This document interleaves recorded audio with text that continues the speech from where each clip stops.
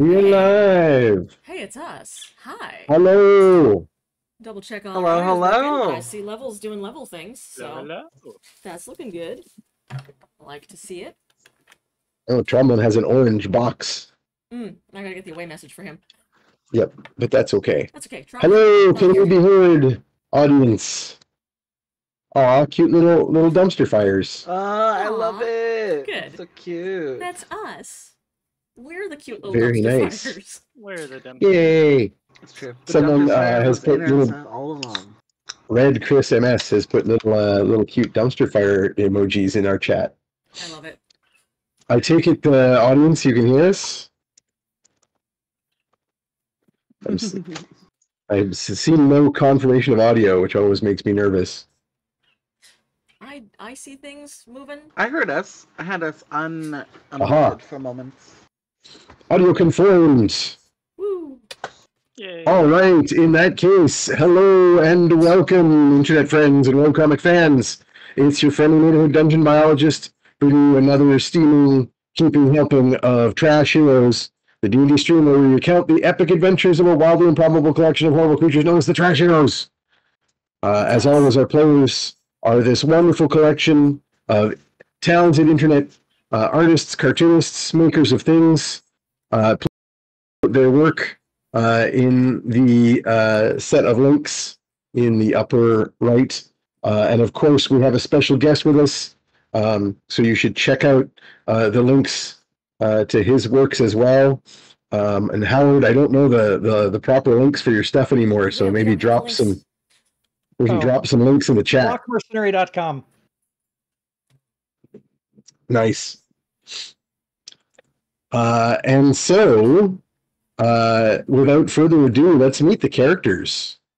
Um, abs this week, uh, thanks to the plague that's uh, ripping through the the country uh, and planet as we speak, uh, is the protector of the vermin, keeper of the vermin, protector of the trash heap, fetid quaggle, and those who are actually with us, larger than life pit fighting superstar Ugna Sugar Tusks.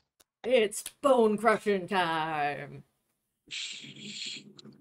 Uh, and absent, maybe joining us later, is the trickster cleric, rogue baker, and party animal uh, Tromandaros. Next is the wild magic streaming sensation Morgan V. Sater. Hello, hello. Like, subscribe, and uh, maybe consider having me be your patron. And of course, our sweet old grandpa, who's also accidentally an ancient warlock, Copernicus Sunshine. Horrifying catchphrase. And uh, with us again as special guest, uh, he's uh, finger looking lawful good. Uh, it's Hollis Rockabilly. Son, I, I say, son, if you're if you're crawling dungeons with the trash heroes, you should not be licking the fingers. This is wise advice, That is very sage advice. indeed. So when we last left our heroes, uh, live game at Gen Con, Woo! and uh, YouTube if you haven't seen it. Yeah, so those who haven't seen the live game, it is in fact available to view on YouTube.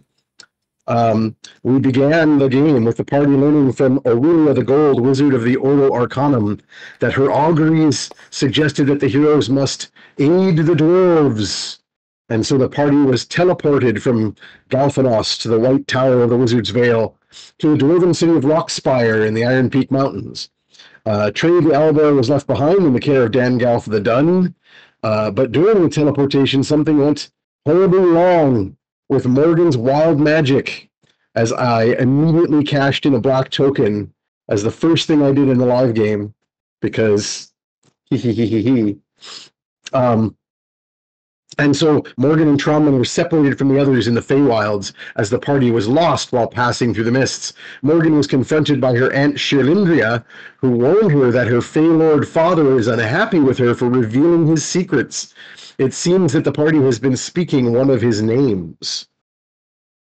Meanwhile, Tromlin was swept to the dark places where Shadowfell and the Feywild meet, and Ugna and Copernicus could hear him uh, as they journeyed to Rockspire, uh, listening to a conversation with something that called him father.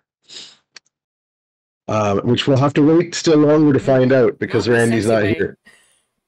Yeah, no, in a very not sexy way. The opposite of that. Um, these delays only took moments, however, and soon the entire party, minus Tromlin, found themselves in the great library of the dwarves, the Athenaeum, surrounded by dwarven sages and their old friend, Hollis Rockabilly. Uh, there they learned that the dwarves had been suffering raids of black-eyed goblins and kobolds from the Underdark, most recently in the library itself. And they had kidnapped Ugna's friend Sal Shattersmith, who had come to the dwarves to research rune magic on her behalf. My friend, Uh, Hollis-. Yeah, exactly. Um, your your uh, lifelong friend, I think, or true friend, is what the merit says on your character sheet. Um, uh, Hollis had been tasked with the investigation, but was hard pressed by fussy dwarven merchants who were hostile to the king, members of House Glacius, who were not pleased with the lack of progress on the case. Um, when Copernicus then tried to speak with the dead uh, on the fallen goblins, his mind was temporarily invaded by a dark shadow that lingered within the corpse, a shadow that he perhaps remembers uh, from other times in the misty past. Um, with no other leads to follow, the party set off with Hollis down the purple worm tunnels made by the goblins, fighting past enormous black pudding and eventually stumbling upon part of the raiding party that had been killed by none other than your old friend Gary the Beholder. Good old Gary Gygax, uh, as he was dubbed.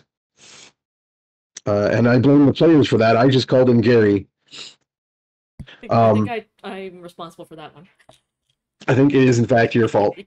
Uh, there was no sign of Sal, but Fetid managed to spot a stray parchment that had been dropped by the goblins, and it was, in fact, the last fragment of the Elenath, which Copernicus then translated, and we ended the live game uh, with the complete poem, uh, which goes uh, There was one who said unto me that the universe would cause my body to tremble, and that my spirit is not like unto the keenest of blades. This one had a visage, it seemed to me as of a fool, displaying first and second digits in the sign of Laguz, held closely upon the knitted brow. Behold, the count of years commences and does not cease. Feasted upon by Themis, I cast myself upon the earth and fled. There is no truth to be held in living joyless. The mind accrues wisdom, but the heart accrues foolishness. There is much to be done and much to be seen, and thus no harm in taking a circuitous route. One remains in ignorance if one does not begin the journey. One cannot shine glorious without first embracing the light. And as Copernicus reads out those stanzas, uh, the various fragments that you have collected of uh, from the various books and scribes that you have uh, encountered uh, over the past year, uh, all of the text begins faintly to glow. I think that's where we left it. If I if I may, um, reading magic and then having the pages come together and light up is typically either a very good thing or a very bad thing, and I, I must confess ignorance as to as to the value state at the moment because I am unfamiliar with how you may have acquired these pages. I mean, don't look at me. Magic never makes any sense to me. And it, the Elnath is in Elvish. Is that right? Uh, I believe it was like in an old, like an ancient form of Elvish. Um, well, uh, you know, we've certainly found um, fragments of the Elnath in some unsavory places, um, but I, I don't think the poem itself is uh, inherently um, uh, evil. But um, you know, perhaps we can do some arcana about it and and find out what's going on here. I'd like to do some arcana about it and find out what's going on here. Well, interesting. Um, Take a, take a help action from anyone who wants to help. uh, as you do so, uh, the runes all immediately uh, fade and the glowing stops. Um, and go ahead and make your Arcana check while that happens to see what's going on. 27. That is an extremely good Arcana roll. Um, you immediately you realize that you have enacted some sort of um, magical ritual. You're not sure if you've done the the proper ritual. This seems like ritual magic to you. Um, so it's it's possible that the full effect was not enacted because you there are likely other aspects required and not just reading it out. Um, but you do in fact read out uh, the stanzas of a magical poem. Um, and so a magical effect began, uh, but you quickly realize that uh, Gary is curiously looking over your shoulder uh, as you talk about this. Um, and the anti magic eye of the beholder has shut down whatever was happening. Of course. As, and, and he kind of, um, like, as he's like, this giant eye like peering over your shoulder as he floats there, and he goes, uh, "What do you got there?" Well, Uh, it's an ancient magical poem. Morgan is going to move out of the range of Gary so that she can continue pr- casting prestidigitation to get all of this fucking goo off of her body. Just like, Mhm. I'm sure they can help you with the poem, okay? I just need a minute. And she, she like goes and is just like trying to cast prestidigitation until she's outside of that bubble. So at this point, um, an arrow is about to come flying out of the shadows uh, towards the party. Um, but before I have any more initiative or anything, uh, I just wanted to, I'm just pulling up, remind myself, yes, um, Hollis, your shield of missile attraction Ooh. um, is going to ensure that this arrow has to target you rather than any of your friends because they are all within 10 feet of you. Because we're all looking at a single page. Yep. And of course, you have uh, with this uh, shield resistance to ranged weapon attack damage. So I'm going to roll the hit roll to see if it even gets past your insane armor class. Yeah, your AC is Mhm. bonkers. Um, yeah, because your armor class is 22. Um, and the roll on the die is a 14. I don't think there's a plus eight behind this attack. Um, so uh, the arrow attracted by your shield then ricochets off of it and into a wall. Um, and with that, everyone can roll initiative. Right. It's the surprise attack does nothing. Um, actually, you know what? There's several of them. I'm just gonna see if any. Yeah, in fact, in fact, four arrows come shooting out of the darkness and ricochet harmlessly off of your shield. Oof. Yay. One of them misses entirely. Like one of them was like a three. Pico. Pico. Must you bite my mouse? I, I would not. He says, "I am bird and therefore must bite. Must bite all the things. Must bite things." I'm just gonna An initiative find roll, please. sage and What's that? hope that I don't get copied.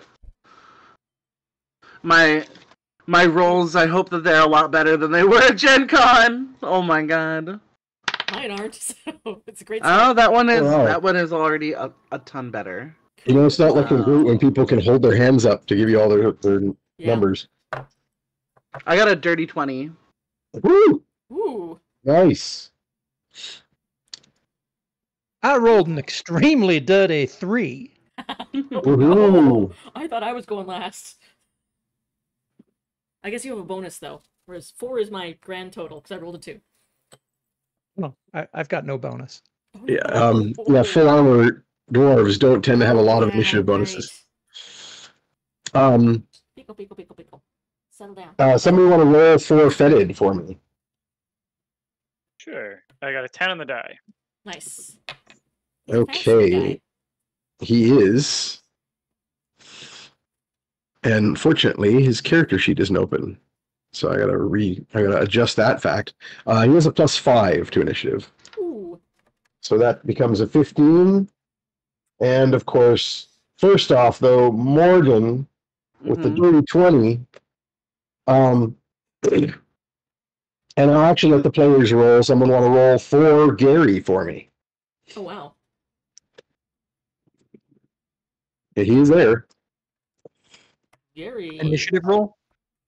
Yep, Because I just a rolled a D20. one. Does Gary want my one? Uh, I mean, I'll take the first thing rolled. That's fine. yeah. Gary's not really on board with this. He's very. He's looking the other way. He's- He lost contact. Yeah, he's kind of a little. It's His not like eyes, are, his, coming. his yeah, his main eye's a little dry. Yeah. Exactly. I do not miss contact lenses. Yeah, he's still blinking. Pico. All right. Pico bud. Buddy. Absolutely not. Do not eat that. Do, do, do, do, do, do, do, do. He has a Can I two. can I put out something very weird about this stream already? Hmm. Peter's not in a cardigan, dude. Oh yeah. Peter's not in a cardigan. That is so strange to me. It's strange to see. Weird. Yeah. Maybe we've got an imposter. I feel like that's a possibility. Does he have a goatee? So everyone- Oh, no.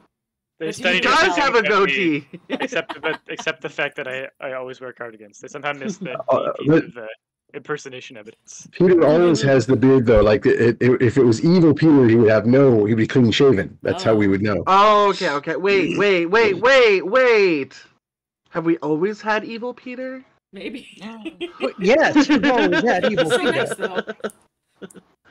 Maybe it's I've just made me. many harmful decisions on this stream. Buddy. You're I'm very silly. speaking as an occasional guest who who does have some evil sensing abilities. I'm pretty sure that Peter wears the goatee for a reason. Okay, so uh, first up, Morgan. Mm. Um, you, you can't even like somewhere in the darkness down the corridor. Uh, this hail of arrows came flying out uh, uh, at the party, um, and for some reason, all of the arrows went directly towards Hollis and ricocheted off of his shield harmlessly. I appreciate that uh, immensely. So much. I appreciate Um, it so much. And I would also like to throw something at them. Um So right now you're you're fighting blind because you can't see where they are down there, just somewhere in the shadows. uh, that's why I love the AoEs. Um That's what I hear. I would like to send out a storm sphere. We all know that's what AOC stands for, right? Area of Cortez. yes, that's correct. um A storm sphere. Uh, how far down the road do you want to chuck it? Uh I would know the general range of. I would assume that this is not a long range bow. yeah, I mean, you've short bow. seen. Yeah, you've seen some of these goblins carrying short bows. I would put it at short bow range, uh, and I want to basically be outside the storm sphere itself. I'm Um, gonna get you to roll me some some knowledge kind of checks here. So yeah! you're not proficient with uh, martial weapons. No, Um, although I think a short was considered a simple weapon, so maybe. Uh, so yeah, I'm gonna make it a relatively easy roll. Mhm. Um, is that wits? Is that Uh, you're rolling. Um, uh, this is your knowledge, so you're rolling an int check. all right? So All not your forte. Straight roll, straight roll. Uh, that is a ten. Uh, yeah, you're you guessing maybe uh the longer range of the storm sphere. Storm sphere, remember, is 150 feet range. Yeah. Um, but I believe it has to be. Uh, no, it does not have to be within sight. Um, So I- you can just kind of. I think uh, the storm sphere itself is pretty big. Um, It's a 20 foot radius. So yeah, it's a 40 foot area. um yeah. I will put it uh thirty feet. I will be thirty feet outside of it. Does that sound Okay. good? Yeah, so it'll extend from about uh 30 feet to 70 feet. Down the tunnel from do, you guys. Do I would I think that I have to remain outside of Gary's anti magi sphere for concentration? No, the spell does. Okay.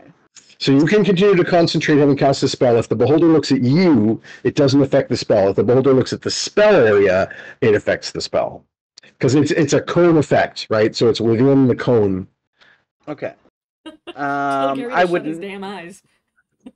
Um, yeah, I'll I'll actually go over to um uh by Gary because he's also uh, a big shield, and I'll be like, hide over here with me. Um, and I'll be like, damn, what's that? And I'll just be looking at like a pebble by my foot. You're know. gonna get Gary to look the other way. yeah, yeah, yeah. Excellent. Uh, I'll, I'll, I'll that call out a free action after you cast the spell uh, on uh, a social. Let's let's make um let's make a deception check here uh, to I'll be keep like, yeah, Gary's like, attention you where think you want it. I'll be like, I was thinking of of dyeing like the the poof fur around my ankles pink. Like, what do you think? And I'll just be like, just showing ankle like the fucking slut I am. Um, and uh, is that deception or persuasion? Yeah, just just disruption. Okay. You're just trying to keep him preoccupied. All right. You're pretty good at this. Um, that is a six on the die, and deception is plus eight. Okay, that he's got a, an insight against that, so that's not a great roll. Are you are you standing on that roll? Um, Oh, you're out of I've got- inspirations. I am. Oh, you um, you can you uh, you can update that black token though, because I used it at the game. So you can get rid of is that black token. Current to what's what happened at the game. if haven't updated it. he suc I don't know. I, if he succeeds against me, I don't mind using my silvery barbs to give um Ugna um advantage. Uh, let me double check silver barbs because I don't remember if you can use it on a skill check. If you can, then you can totally do that. Um, It's against successful saving throw or skill um Yeah, ability check. or Yep, saving yep. throw. Yeah. So he did in fact beat you on the on. So you're going to force him to re-roll his um his insight check against you, and he did roll lower. So that was actually probably worth doing. So you used everything now. You used Oh, your yeah, yeah. reaction to do that. Um, So yes, he um, I mean technically the reaction happens on someone else's turn rather than yours, but like that's just weird Yeah. weird broken D and D rules. Um, so yeah, uh, yeah, you get him looking. Uh, you get him like checking out the. You know, there's a storm suddenly pops up down the tunnel, and there's like howling I'm wind. like, ooh, look at these runes. Isn't that weird? Oh wait, I think those are just scratch marks. wow. So next up is Fetid, um, and Fetid uh, is going to um, uh, is going to run up the tunnel to where he had seen uh, a side branch uh, and take cover there with Ollie. So he disappears down that side tunnel to take cover from potential arrow fire. Not realizing that if he goes out of 10 feet of Hollis, Hollis is no longer the magnet for the the arrows, but not that it matters. But if he's around the corner, it kind of doesn't matter. Uh, next up is Copernicus. Um, so I'm pretty sure I, I know that my hit point total after the last session was 16. I'm pretty sure I had no spell slots. So um, I think what Perny would like to do uh, is attempt to remember um, what he knows about Beholder anatomy and be likely to guess which eye has the disintegration ray, and then he might just try and grab it like a hose and turn it on. uh, Interesting. So most uh, the Volo Guide to Monsters version of uh, the Beholder uses random dice rolls for what the different eye beam effects are, but the implication is not that each eye ra- has a random effect, but rather random eyes. Which eye fires? Make me an? Arcana check, but this is a tough one. I need another 27, baby. I believe in you. really good. Daddy's using an inspiration. Ooh. No. I will mark that off in a second. You're distracted by bird. I got a bird on my That would be a 21. Ooh. 21 isn't terrible. I also, we will did. give you. Um, what I'm going to do is I'm going to treat this like the wild magic rolls. Um, I'm going to roll randomly for what you get, but I'm going to roll twice. I'm going to get you to roll. I'm going to roll twice, and then I'm going to let you choose which of the two. So you're grabbing, trying to figure out which eye beam is which, and you're trying to grab a stalk to aim in that direction. Yeah. Um, So I'm I rolling a d10 twice and I'm telling you the number each time, or am I rolling a d a percentile die? Yeah, I'm just trying to check in which which dice roll it is. Du- du- du- du- du- du- du- du- du.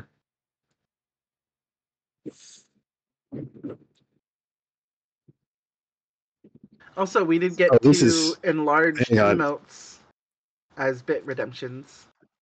I don't know if they automatically got added to our thing or if we got to manually Huh. do it. Did you see that Twitch is upping the um, subscriber price and also the bit prices again? Ugh, the Yep. worst. It's going up like quite a lot. I'm so sorry, y'all.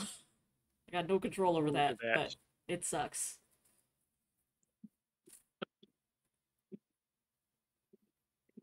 Hang on a second. I've lost my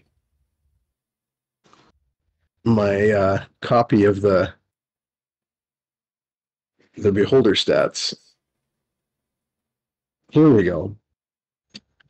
The beholder chooses. Uh, yes. So D10, please. Okay. So we've got a five and, And then a second time. A five and a four. Okay, so your choices are slowing or enervation. What's the second one? Enervation.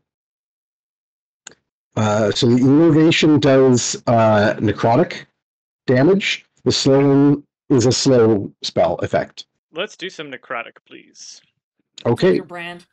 Oh yeah, and I, and I grab um so I grab the two eye stalks uh from Gary. I'm like, um Gary, we're just going to have to do um an, an improvised battlefield uh, examination to make sure that your eyes weren't hurt from losing the uh, contact. So uh, tell me, does the things look better or worse? better or worse? Um, and I optometrize him. Nice. Okay. So because you're using uh, the array that normally does not have an attack roll, um, but you're going blind, because so normally the effect of this is it has to be a target he can see, and since the targets are up, up and hidden away uh, down the tunnel in the darkness, um, you guys haven't been able to see them yet. Uh, and the storm, if anything, is going to make it worse. So what I'm going to do is I'm going to have you roll with disadvantage as though you were taking a blind shot with a ranged weapon. Um, I'm going to let you use your uh, your spell ta- attack bonus here. Okay, so you're very gracious. You're a very gracious GM. Don't let anyone tell you different. Um, here we go. So the first roll is a 26. That's a Pretty solid roll. Second roll is a 19. So that's still a really solid roll. And that 19 will, will make it, despite these guys being very uh, um, cunning and swift uh, and, co- and in cover. Uh, so you actually manage to tag something. You hear uh, a scream. Uh, I'll roll the saving throw. Please roll me 8d8 necrotic damage. Okay, I'm gonna do that digitally. Ooh. I'm gonna they get- roll my my bludgeoning damage for the thing for the people to take half of or take. Yes, actually, that, that was an instant. So yeah, just so we know how much it is. Rolled very well, uh. Holy 45 crap! 45 points of damage. I rolled really well too. Um, What'd you get for the bludgeoning? Um, uh, 12, 17, 18, 19, 20, 22, 26 bludgeoning damage. Uh, against a sa- uh, strength saving throw versus. I think you're rolling the wrong number of dice. It's 2d6. Um. Oh my God! Why did I roll six? All right. Yeah, That would be nice. That would be nice. Yeah. Um. All right. Uh, uh, that is a eight. eight for bludgeoning damage. Okay. Um, so you can't tell if anything's being hit by the bludgeoning of, of rocks and pebbles and things being swept around by the winds. You also weren't able to use your bonus action to fire the lightning at anything because you can't see down there to know what targets were available. Um, uh, however, with that enervation roll, you actually hear a scream uh, as something down there gets tagged in the darkness. Um, and Gary goes, Hey, ow! My eye! You just you gotta test Uh, the as left. It's like a little puff of air from the machine, right? It's Do part of the not use the dilation medicine on the beholder. All of the be- all of the rings would become cones. Oh, no. you do not want a cone of disintegration. Terrible, terrible idea. Uh, next up is Ugna. Did we bring a torch or lantern with us? Uh, certainly. In fact, uh, uh, Hollis has a magical uh, lantern that's like a, a thieves lantern. It has like shutters that you can open and direct the beams, and then it's got a magical light uh, spell inside of it, so it's it never goes out. Um, and then, if any of the rest of you could have grabbed a torch at any point from the library on your way down, You guys, you guys have to remember that we're always fully stocked on Loth lights too. I mean, that's true. I don't think those will illuminate anything uh, that light? we want illuminated. No, the yeah, they're they're. I would say that the the blue light effect on there is secondary to its primary use, Yeah. but Okay. for sure it is a torch. Well, okay. Uh, I'm gonna randomize here. Uh, one, two, three, four. cool, cool, cool, cool. So, what this looks like to everybody is Ugna goes to do her usual thing and put herself in front of the group to to tank and take damage, but Hollis is there already. Um, and so Yep. she kind of like stops, uh, looks at the beholder being beams going down the aisle and decides not to run down there either, uh, which is probably the smartest thing she's done all day. And then she will grab at the torch out of, uh, or the loft light out of Morgan's hand and just whip it as far down the corridor as she can, which with a 20 strength is far. Um, you also have advantage from uh, my silvery barbs. Cool. which is good because you have disadvantage from the storm sphere. So Yes. roll me um roll me an attack roll. Just even because it's up one and down one. Yeah. Um actually it's down another one, so it's gonna be disadvantage Alina? because you're going Alina? beyond the normal range. Alina, do you- you have a hero point to spend? I don't know if this calls for it, but uh, Um, It but is wait, wait, wait. No, no, but How this spend, lands though? How like just consider you throwing this into the darkness and how it could possibly land if you critical. Um, so just trying critical, okay? if you want to spend an inspiration, you can counter the disadvantage and just roll straight. I, I do think in fifth ed to be Oh. to if, if I may approach the bench, Your Honor. Uh, in You fifth may. ed, I think there's just advantage disadvantage in the cancel. There's no stacks. They don't stack. So just if you have advantage in multiple sources of multiple, it's just supposed to even out to neutral, no matter how many are stacked on one side. Yeah, which is really dumb, and I've kind of been you're ignoring that. it. All right. I, Yeah. I I- will. abide by your judgment, Your Honor. Well, you already have advantage from silvery barbs. Yeah, they, they don't stack and so Yeah. there's um so the original interpretation that a lot of people were going with from the way it's the rules are written is that they don't stack in the sense that you don't like roll another extra die with another advantage or roll an extra disadvantage die um, but if you have multiple sources of cancellation uh, you, you know having two disadvantages matters if you can only cancel one of them I um, will indeed then- inspiration if that is. yeah. th- Then J. Craw came along and said, no, no, it just doesn't do anything if you have more than one, which is really lame because there are so many things that give you sources of Yeah, inspiration then and just don't do disadvantage. It just means, which means that they just don't do anything. So I've spent Um, inspiration. I'm going with just a so yeah. flat roll. Wish me luck, y'all. That is an 18. Okay, plus my So- uh, if it's an attack roll plus eight. Yeah. That's my It in fact. It would 18 be considered eight. an attack roll. You have 26. improvised weapons, so even if I didn't count this as a real uh, a martial weapon, you'd still have Yep. professional bonus. So So I grab a silicone light up torch. tube, and I just oh, one it. of those, yeah. It goes like whip whip whip whip whip whip, whip. and over. And as soon as it hits the edge of the storm sphere, about 30 feet away, uh, it starts going careening wildly as the winds catch it. But it has so much force behind it that the winds just bounce it off the walls. And it just goes, it just goes ping ping, ping ping ping ping ping ping, and ricochets way down. Now, I believe a Can throw, smack somebody in the face for no damage but comedic effect. uh, possibly, but let's find out how far it goes. Just leaving Uh, like a, a moist patch. They're popular because they're also waterproof. Like they're the best Mm. torch, really. When you think about it. hmm hmm So a thrown weapon has a range based on strength, right? Yep.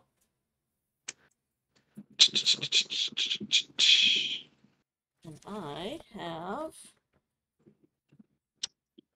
Okay, improvised thrown weapon has a normal range of 20 feet with a long range of 60 feet. Okay, so the strength roll determines whether we can extend that range. So the disadvantage was saying that it was you're going over 20 feet. Yeah. Is the is the the basics of it. Um But I do have brawler, so I am proficient in uh, on Yeah. improvised weapons, which we've Yeah. already added. which is why you got your bonus. Yeah. Um, I'm going to say that with that roll and your strength of 20 and your uh, your larger than normal size feat uh, or feature, which gives you um, uh, strength related bonuses of being a larger creature, hmm uh, large rather than medium. I'm going to say you end up throwing it double the normal maximum range of a thrown uh, weapon, and it goes 120 feet down Ooh. the corridor. So you can see it hits the, the storm sphere. There's a wind. It goes all the way through the storm sphere, 70 feet. On the other side of the storm sphere, there are various fallen rocks. So as it goes down, you see two openings, one in either side of the corridor. The one fairly close to you that fended ducked down, and the one further down that goes the other way. Beyond the storm sphere, there are a series of rocks as the cavern widens, and there are various of these shadowy goblin and kobold figures with their jet black eyes, crouching behind the rocks with, with bows. Um, uh, they, at the same time that you throw this, because they rolled the same initiative, um, are firing another volley of arrows. Most of the arrows fail to even get down the corridor because they all have to fire with disadvantage through the storm sphere. Um, the ones that make it through the storm sphere, I'm rolling with disadvantage. Uh, once again, because you're all within 10 feet of Hollis, uh, they're going to be attracted to him as a target, but they're going to have disadvantage on the rolls to beat his armor class. Which means a total of one arrow does not just harmlessly ricochet off of his shield or armor. Um, so Hollis gets tagged by a single arrow out of this volley of uh, quite a few, 10 arrows at least, firing into the storm and variously are blown into the walls or ricochet off of Hollis's uh, shield and armor. I have not used my reaction yet. I would like to use my intercept to reduce whatever damage he takes by 1d10 plus 3. Nice. Excellent. Uh, please do, in fact, roll is a- that. I rolled a 9, so 9 plus 3 is 12. That is more than the max damage that I can roll on this arrow. Um, like oh, uh, Fist like hurls hurls the flashlight into the storm, and the storm whips back an arrow, and Ugna just catches it before it hits. Basically. Ugna catches it in yet another loaf light. Quick question: How how tall is Ugna exactly? I believe she is 7 foot we're over, 2. s- yeah, very hunched over in this court in this uh, tunnel. Okay. Because Hollis is only four foot six. That's true. Um, now I'm trying to decide how this works. wall for the There, rest of our. there is a there is a poison on this arrow, Ooh. and I'm trying to decide if I want to say that your damage reduction means that the arrow never did any, never actually hit Hollis, and therefore the poison has no effect, or if the poison is like part of the damage because the poison does have its own damage effect. Um, I think I'm going to go with B. I think that's what makes more sense because this reduces the damage taken. So, uh, Howard, go ahead and make me a poison uh, or, or Constitution saving throw. You're very silly. Uh, and I believe you get uh, advantage because of your Yep. uh, dwarven resistance. Yep. So give me two do- rolls and give me your if best. either roll had been more than a ten, uh, that would have meant something. But Okay. Now you also have resistance to poison damage. yep. Or Um, so you will have the poisoned um, uh, condition from this attack, but the damage with the arrow and the damage done, your resistance applies first, then Ugna's reduction means that although you have the poison condition, you actually take zero damage. So one one poison arrow manages to graze a shoulder between Pauldron and Chain, um, and you feel the burning sensation. Um, but uh, uh, Ugna swats the arrow before it uh, it it sticks in the flesh uh, away from you, and you don't. You kind of shrug it off and are like going, ah, goblins I've been hurt poison. worse. I've been hurt worse shaving, and that is why I stopped shaving. It is a magnificent beard. Um, Ugna, you have a second atta- uh, attack if you're I sure do. Throwing the torch sounds uh, counts as an attack, so you have a Yep. second. Is there any um You have improvised weapon, right? yeah, I do. Are there like loose stones or You could uh, quick draw the dwarf. I don't know. I've been trying not to go down the corridor because we are firing off beholder beams. There is a Um, there I is can also a stop you stone with sphere between you and them That's true. that will hit a lot of people. Um, you do have a There's ranged a- weapon on you, I do. and and in, in this moment, you were able to see them as you threw the light down there. Then I think it is hammer time. Okay, uh, Ugna pulls on some big puffy parachute pants Yes. uh, and sunglasses, uh, and does a side to side dance shuffle. hmm hmm hmm Oh wait, that's your turn. No, Yes. sorry. Second attack. And then you have to Um, stop. You said it was hammer time. Uh, yes. so tolerate, you- and listen. That's you got to do all three.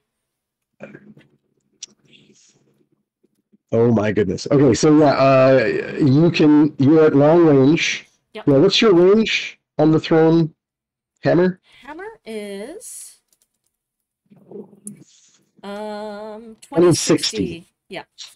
So 60 is the normal maximum range you can throw it.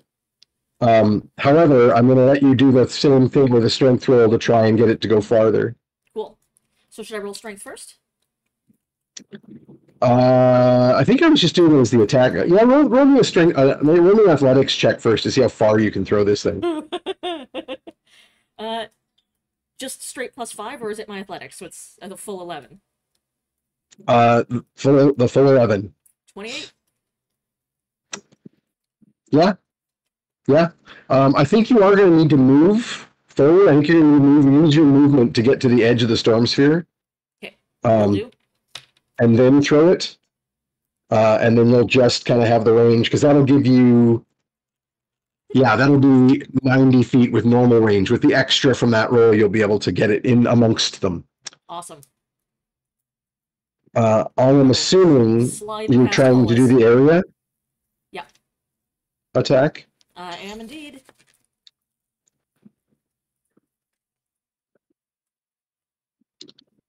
Okay. So spending a charge. Yep. Uh, this is going to have a th- thunder wave effect uh, in a circle from where it hits. And am I at disadvantage or a straight roll? Um, yeah, making a roll with disadvantage. Like, there's a lot of factors at play: lot long range and the uh, the storm. Oh, ho, ho.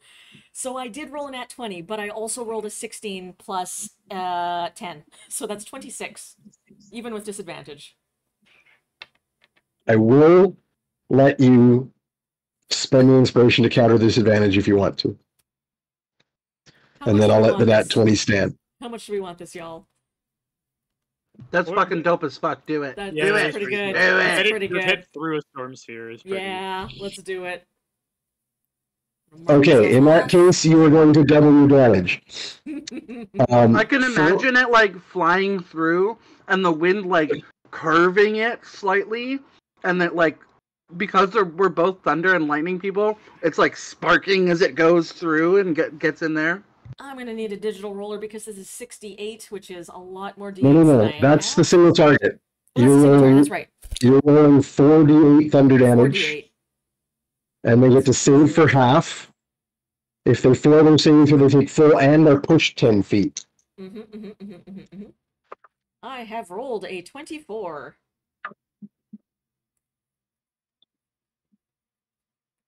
Okay, 24 damage. Okay. I have rolled spectacularly well. I cannot. Wow. Two nat 20s in this roll, in this set of rolls. Dang. Um, all of the ones within range made their saving throw. Um, but I've just wasted a lot of amazing rolls. Two 20s, an 18, uh, and a 15 and a 14 with their bonuses will make the rolls. Um, so they all made their constitution saves. None of them are pushed, but they and they all take half damage. But you could, so you do double damage. That's true. So your 24 damage stands, which is gonna take out like probably most of them. Um, so there's an explosion of thunder where the hammer strikes amongst the rocks, and various goblins and kobolds go flying through the air and various states of shattered body uh, down at that end of the corridor. Um, and you hear uh, just a series of shrieks uh, as the rest of them begin uh, fleeing. Uh, and there's a Um, crackle of thunder, and the hammer appears back in my hand. Uh, Hollis, you are next. Two quick questions. Yep. One, are these attacks coming from the direction that we want to go? I mean, generally, you you were you were tracking this party of goblins and kobolds. You seem to have found them. Um, Okay. so it's a you know it's up to you where you want to go from here. Uh, but basically, yes, the direction that, that that you were going is where they're coming from. Second question. Between the passive perception bonus, the general stoneworking bonus for dwarves, the dark vision, and the fact that all of their initial attacks hit my shield, Yep. if I roll a 23 perception, what can you tell me about the party that's attacking us? Ooh. a lot. Um, I would say with that role and with all of the knowledges you have, you have a pretty good idea um, uh, where they're headed. You have a pretty good idea that they are likely to have um, um, not reinforcements. What's the word I'm looking for? Um, like not battlements, defenses. Like um, Emplacements. Firms. Yeah. yeah, they're they're gonna have they're gonna have things further down. The way that they're going in that direction, they're going to eventually be reaching uh, fortifications. That's the word I was looking for. Um, but you know that the, one of these side tunnels is a good way to get around that uh, those fortifications and come at them uh, from an axe. behind. Oh no! Oh no! It's Pico the Barbarian. He wants to He's play D&D returned. Too. Yep. Someday I'm going to line up a character sheet for Pico the Barbarian. Good. I have a picture of Pico It- the Barbarian somewhere.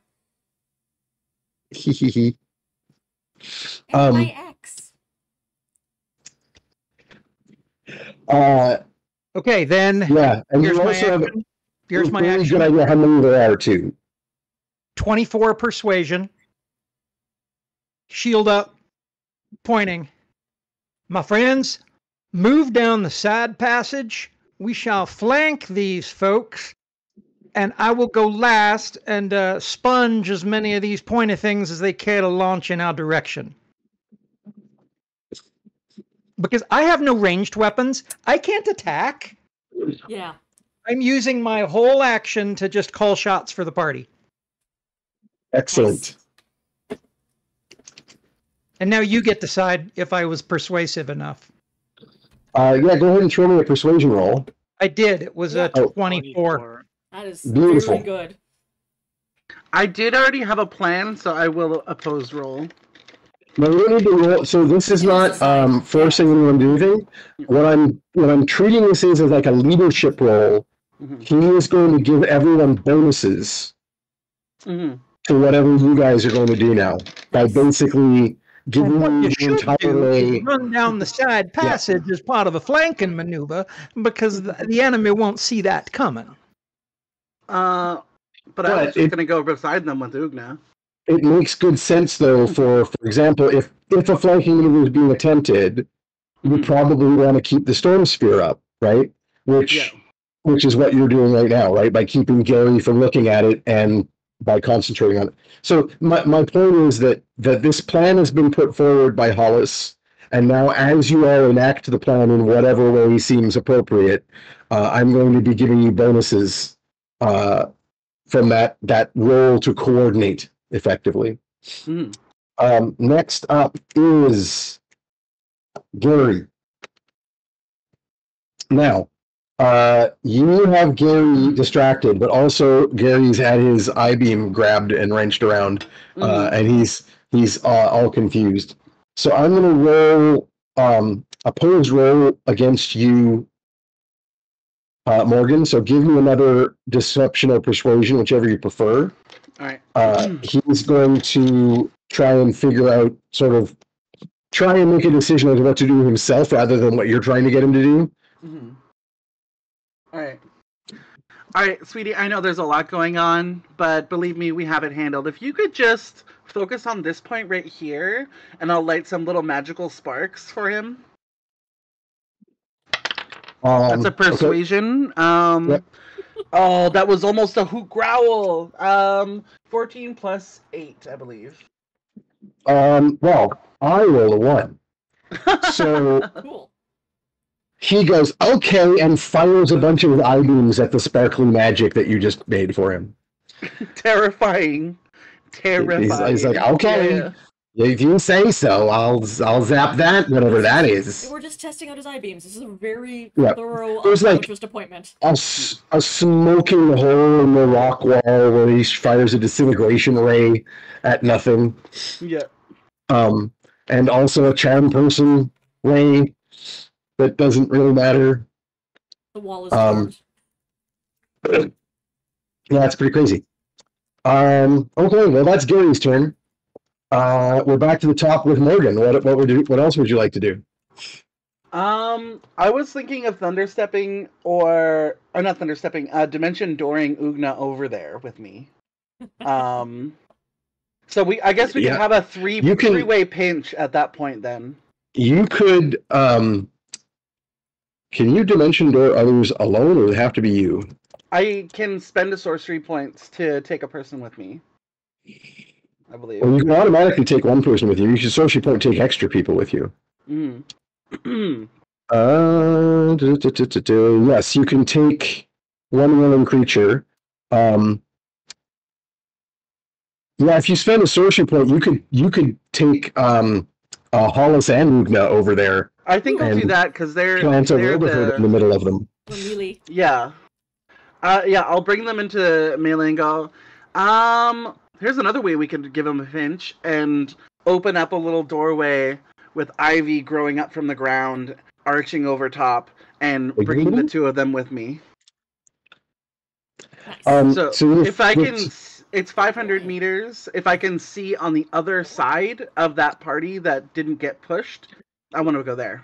you in fact can see the side passage that Hollis just pointed out Mhm. as uh, a, a flanking point, um, and basically instantly, instead of going down the side corridor and coming around by however long that takes with uh, movement, you can teleport yourself, Ugna, and Hollis right to the the ambush point that he just pointed out, Great. Um, um, and I'll- and just bam, they're all right there, right Uh, behind all of these these goblins uh, and kobolds before they find their their footing.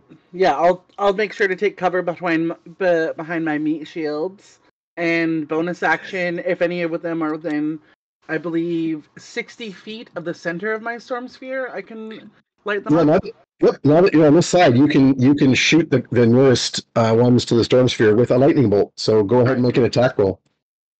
Uh, right. And Copernicus, you're on deck, just so you know. Oh, that's only a two, unfortunately. Uh, oh, again, goes- so close to the hoot is growl. One. Um, and I'll I'll tell Ugna if you can get them in there, it'll be easier for me to shoot them.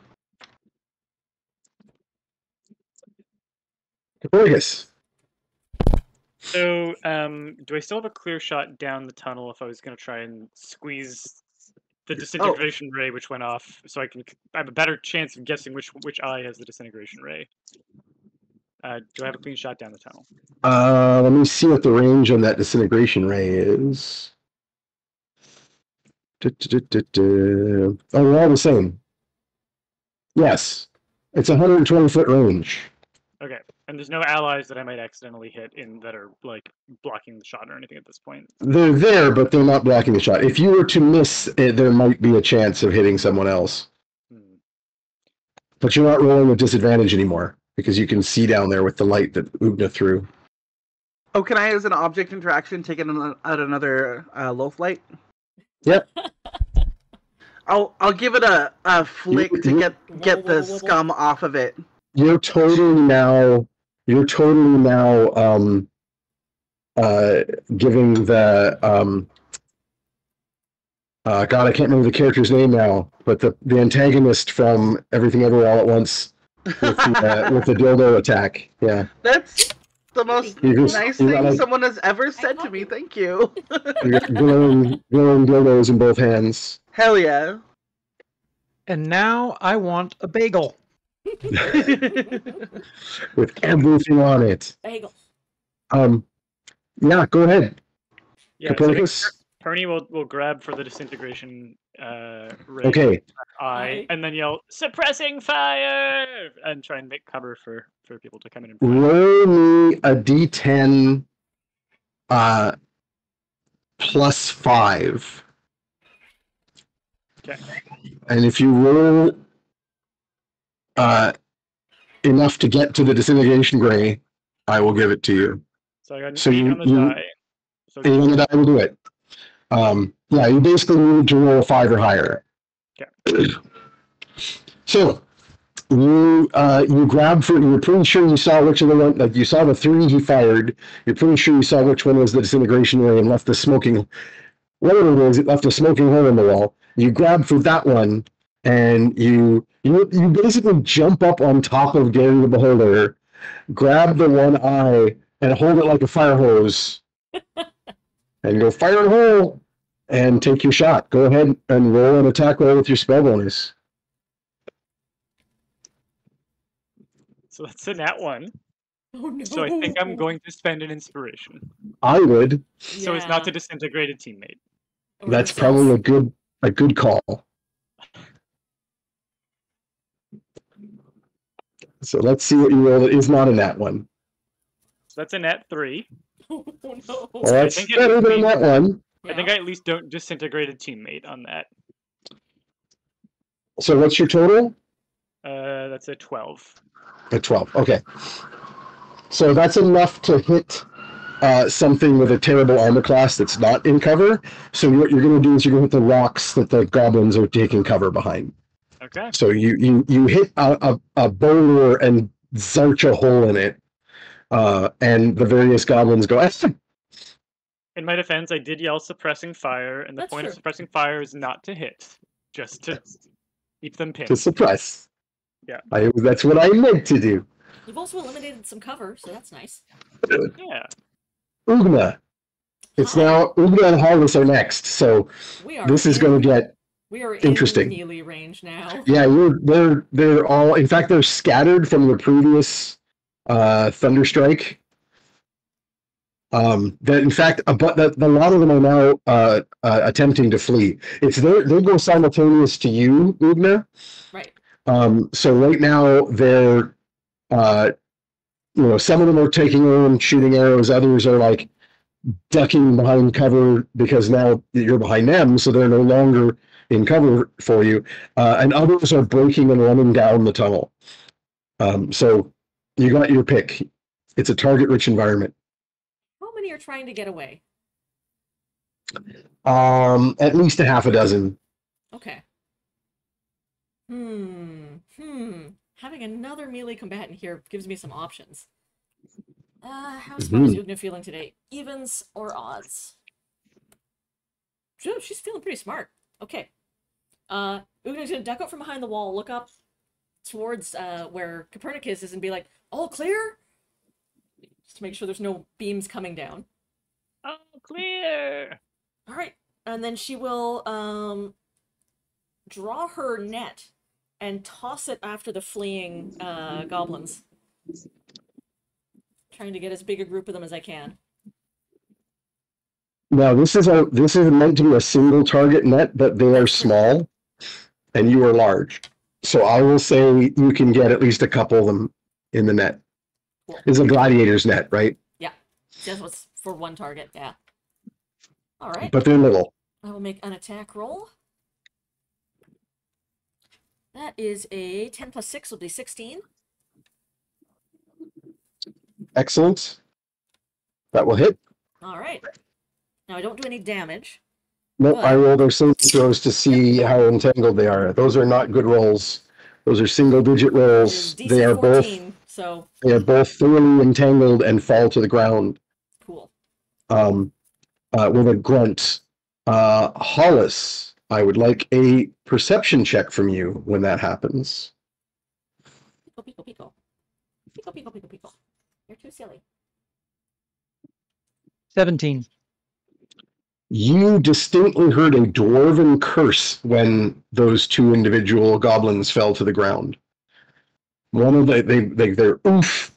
One of them says, uh, or a, a little utterance that sounds distinctly dwarvish to you. Not goblinish, Correct. which I also understand. Actually, I, speak goblin. Uh, oh, that's right. You also speak uh, Yeah. dwarf. So yeah, uh, if you roll me a perception, you could have uh, kind of heard that also, or caught that also. 13? Uh, you you caught it sounded weird, but you're not 100 percent sure why. Yeah. Um, no, that was one attack. You've got a second attack. What else are you doing?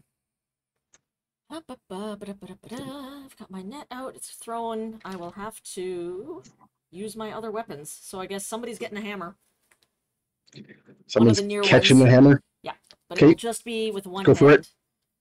Yep. Uh, 16 plus 10 will be 26. Cool. That's an amazing shot. Um, do you want to spend a maneuver point and send these guys flying? With that hit, I'm gonna let you. Um, I'm gonna I'm gonna throw a little tentative toe out here. To uh, what the hell are they calling it? I don't remember. D and D, not sixth edition. D&D Oh, next. Um, yeah, is that what one D and D or something? One D&D, yeah. D and D next, whatever. It's the new edition of D and D, but they're not calling it a new edition because they don't want anyone to go, "Oh, it's a new edition. We'll stop playing." Buy all our books. Um, yep. Um, but uh, one of the things that they're bringing in is weapon masteries. Uh, and one of the things they do with big weapons is uh, cleave attacks. With that roll, I'm going to let you hit a couple of them with one sweep. cool. Um, so if you spend your maneuver to send them flying, you can basically golf uh, two or three of them uh, with one sweep into the, the storm sphere. Let's do that. That'll be my pushing And I'll- attack. And I'll roll some Ah. saving throws, and they all fail. Add a die roll to damage. Uh, so that is five, and four is nine, plus another eight. Yeah, you're going to take these guys out. Between you knocking them and then them being in the storm sphere and taking bludgeoning damage, um, this is going to basically knock them out one way or another. Two netted and two Um, down. Hollis, you have new targets. Well, I'm still 60 to 80 feet away, right? No, you've been teleported with uh, Ugna and um, Into melee range. and Morgan. So Morgan dimension doored uh, the Okay, three no, of I, you. I just I didn't Yeah. realize I was uh I was taking a trip. Mhm. Okay. Yep. Um, if, if you really want to, you didn't have to because you can. It has to be a willing target. But But the invite was there, and Ugna charged through without hesitation. So seems safe. um, I'm I'm going to do my job, which is to draw fire. Uh, 19 deception, 23 on a nat 20 for performance, shouting in undercommon, which for Hollis is a completely different accent. nice. Ye cowardly maggot munching ne'er-do-wells! Ye face holiness the stone thruster, shining vengeance of the deep! Face me! Bang, bang, bang on the shield. Nice. Excellent. Beautiful. Um, if you I know I'm playing my paladin like a bard to love it. me. Does this guy have an agent? You should really come on my stream sometime. Not that way. I am happy to uh, let you uh, take an attack roll on one or more of them at the same time, All right. since that's that's largely just yelling. That, yeah, that Um, was that was just yelling. Uh, uh, 19 hit. Uh, yes, indeed. Uh, seven damage. Uh, uh, uh, uh, uh. Are you going to dump anything on that? Because you do have uh, various smite options. These are small folk. They don't need me Yeah. Dumping things on them. I Also, And there's a might- magical storm of bludgeoning happening, and no. And some of them might be dwarves or something. They certainly speak dwarven. But I don't know that. Um, and speaking of which, a number of arrows are uh, once again variously ricocheting off of Hollis's armor. That's my job. Once again, one arrow has a chance to, uh, well, does successfully, um, mainly because they're not rolling a disadvantage now because you're on this side of the sphere of the storm. Um, but one arrow will actually hit you as opposed to just ricochet off your armor. Man, Silver so um, nice- barbs. So Oh, nice having you want to to silvery barbs it. I silvery barbs it, and uh, that was so cool. You will actually get my advantage rather than Ugna this time. Nice. It does not get past his armor class. So silvery barbs ensures that it just ricochets. So another volley of like five arrows go uh, uh, pinging and ringing off of the off of the armor. That was part of his bad rolls on my part though, because uh, without the disadvantage, uh, they only need to roll a uh, 17 to actually get past your armor class. But uh, only one of them did and did not with the reroll.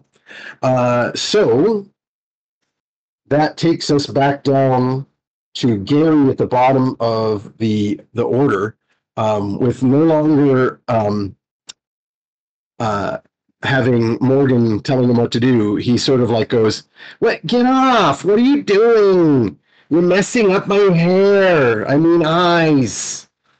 Um, and Gary's going to turn around and kind of shake himself to try and get you off uh, uh, of his of his head. Uh, so roll me uh, an athletics to hang on. Our old man, famously great at athletics. Yeah. So that's a four on the die, but the good news is I have a minus one. Ooh. So yeah, you kind of go tumbling off, uh, and uh, land amongst the rocks, but actually you're floating above the ground as usual. Um, actually, no, sir, you don't. You go flying off and actually land with a thump in the rocks as you No. are within Gary's uh, eye beam. Oh no. Uh, Grandp- as Grandpa's as he's hip. now Grandpa's hip. no, no. Keep in Grandpa, like, most of his clothes have been dissolved by the black pudding. I think he got hit by multiple arrows. He's like, yeah, you take like one damage from falling amongst the rocks. all right. Um, but today. the storm sphere uh, ceases to exist as Gary looks down the corridor in its direction. And it is back to the top of the initiative order with Morgan. And uh, what do you want to do? There's a couple of uh, goblins tangled up and fallen on the ground in a net. Um, but by this point, after many more volleys of arrows just ricocheting off of Hollis's armor uselessly, and after Ugna is golfing them around the place, uh, pretty much all of the rest of them are breaking and running. Um, I will. Um, I will chaos bolt one of them. Hope. Nah. Go for it. Yeah, because I'm trying to make it bounce and hit more people. I'm getting pretty low on spell slots. Um, I don't trust uh, entangle, so um, I'll do one of the farther ones away. Yep. That's trying to run away. That's a 10 plus 9 for spell attack bonus. Yep, 19. that'll hit.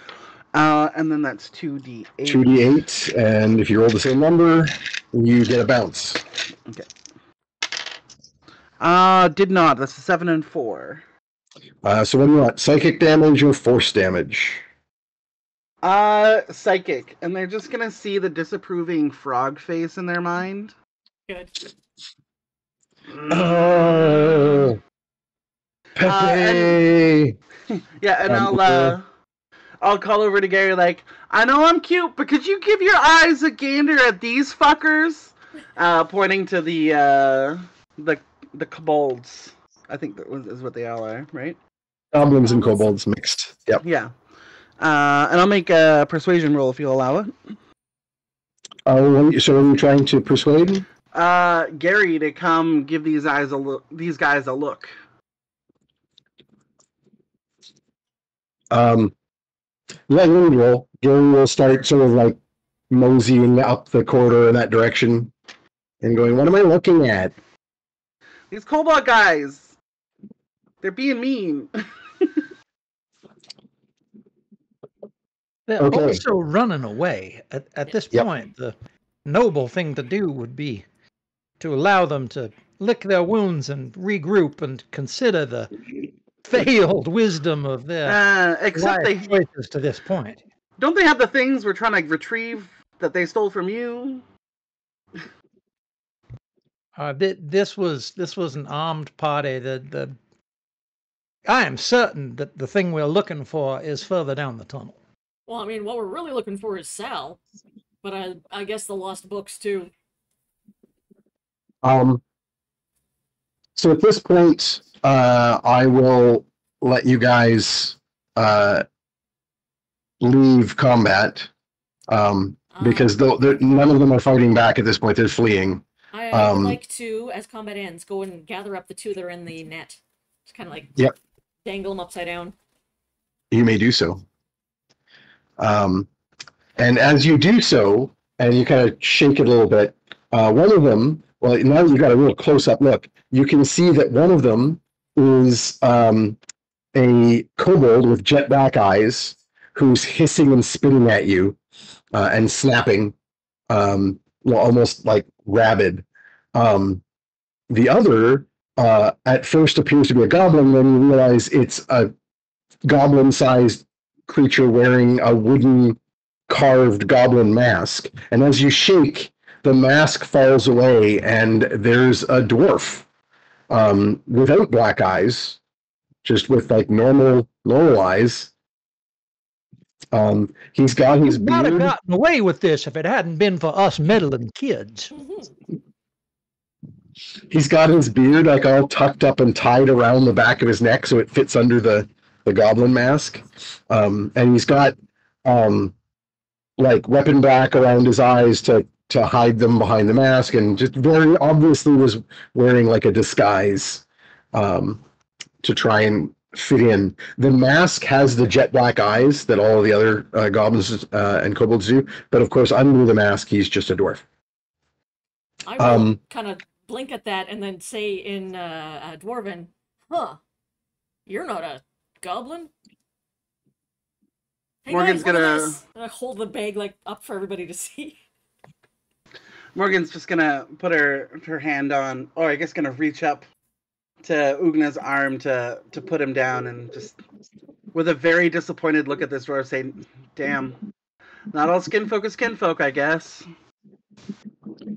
So as you're holding him up, the kobold that's trapped in the net with him, um, as soon as his mask is gone, is going to turn on him and start trying to like bite and scratch at him. And he was immediately starts going. "Ah, ah, ah, ah." Can I bonk Help! Kobold on the head? Just Honk. Yes, yeah. You Yeah. thump. He just like hangs limp. And can you can you remind me? Did we make any progress in the Gen Con session about figuring out what uh, is going on with the black eyes? If that's like a, a sign. So- of like, You tried to speak with Dead on one of the goblins, yeah. um, and you temporarily were possessed. Oh, that's uh, right. and your eyes went black um, by a, a, a shadowy spirit that reminded you of Um, of of your his of your past. Uh, This is a- only only Copernicus has that information, right? Yeah. The rest of you just were like, okay, something tried to possess him when he tried to speak with the dead, and you were like, yeah, let's not try that again. I'm sorry. Was that Shukek Za that it reminded me of, or was it Sheki that it reminded me of? I mean, same. Like it reminded you of the powers of your patron, who is also Sheki's patron. So, so yes is the answer to that question. Gotcha. Okay.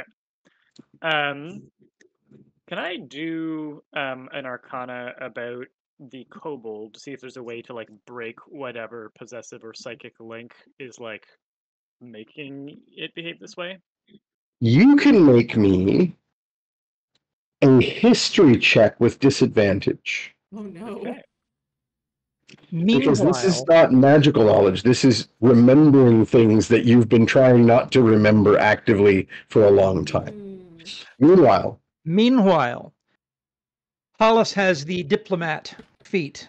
Yes. Talk for a minute to grant persuasion versus insight Oh, for a charm effect. nice. so give Lane, me if you're going to make me persuasion roll. talk for the full minute, I will.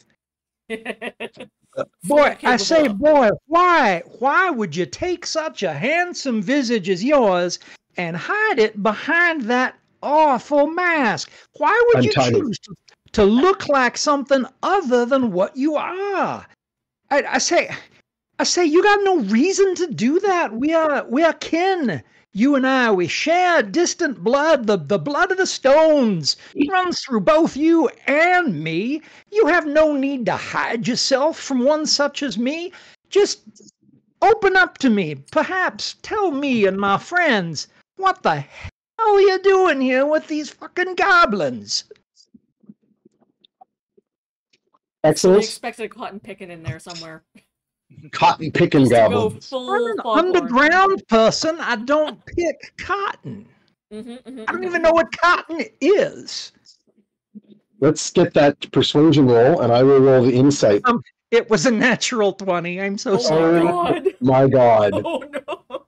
Amazing.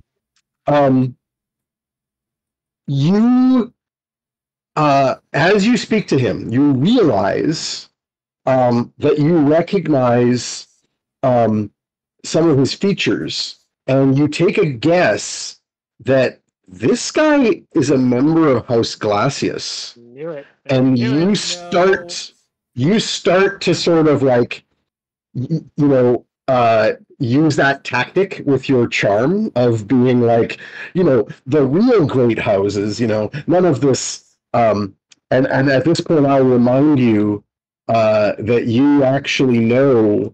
Um, hang on a second here. Oh yeah, all my file. notes from the Gen Con game were on a piece of paper that Not I a problem. came home with me. No worries. There was like the rich dwarves. No. They seemed shady. Glacius is the merchant house, right? Yes. Right. Um, So you uh, Would one who comes from as much money as I must assume you come from be cavorting about with with goblins?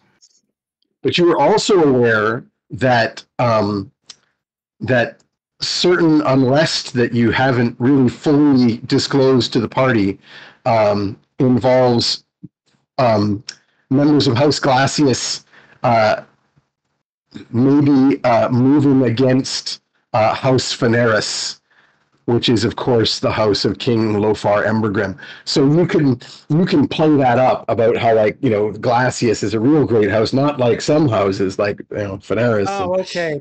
so- ruled too long.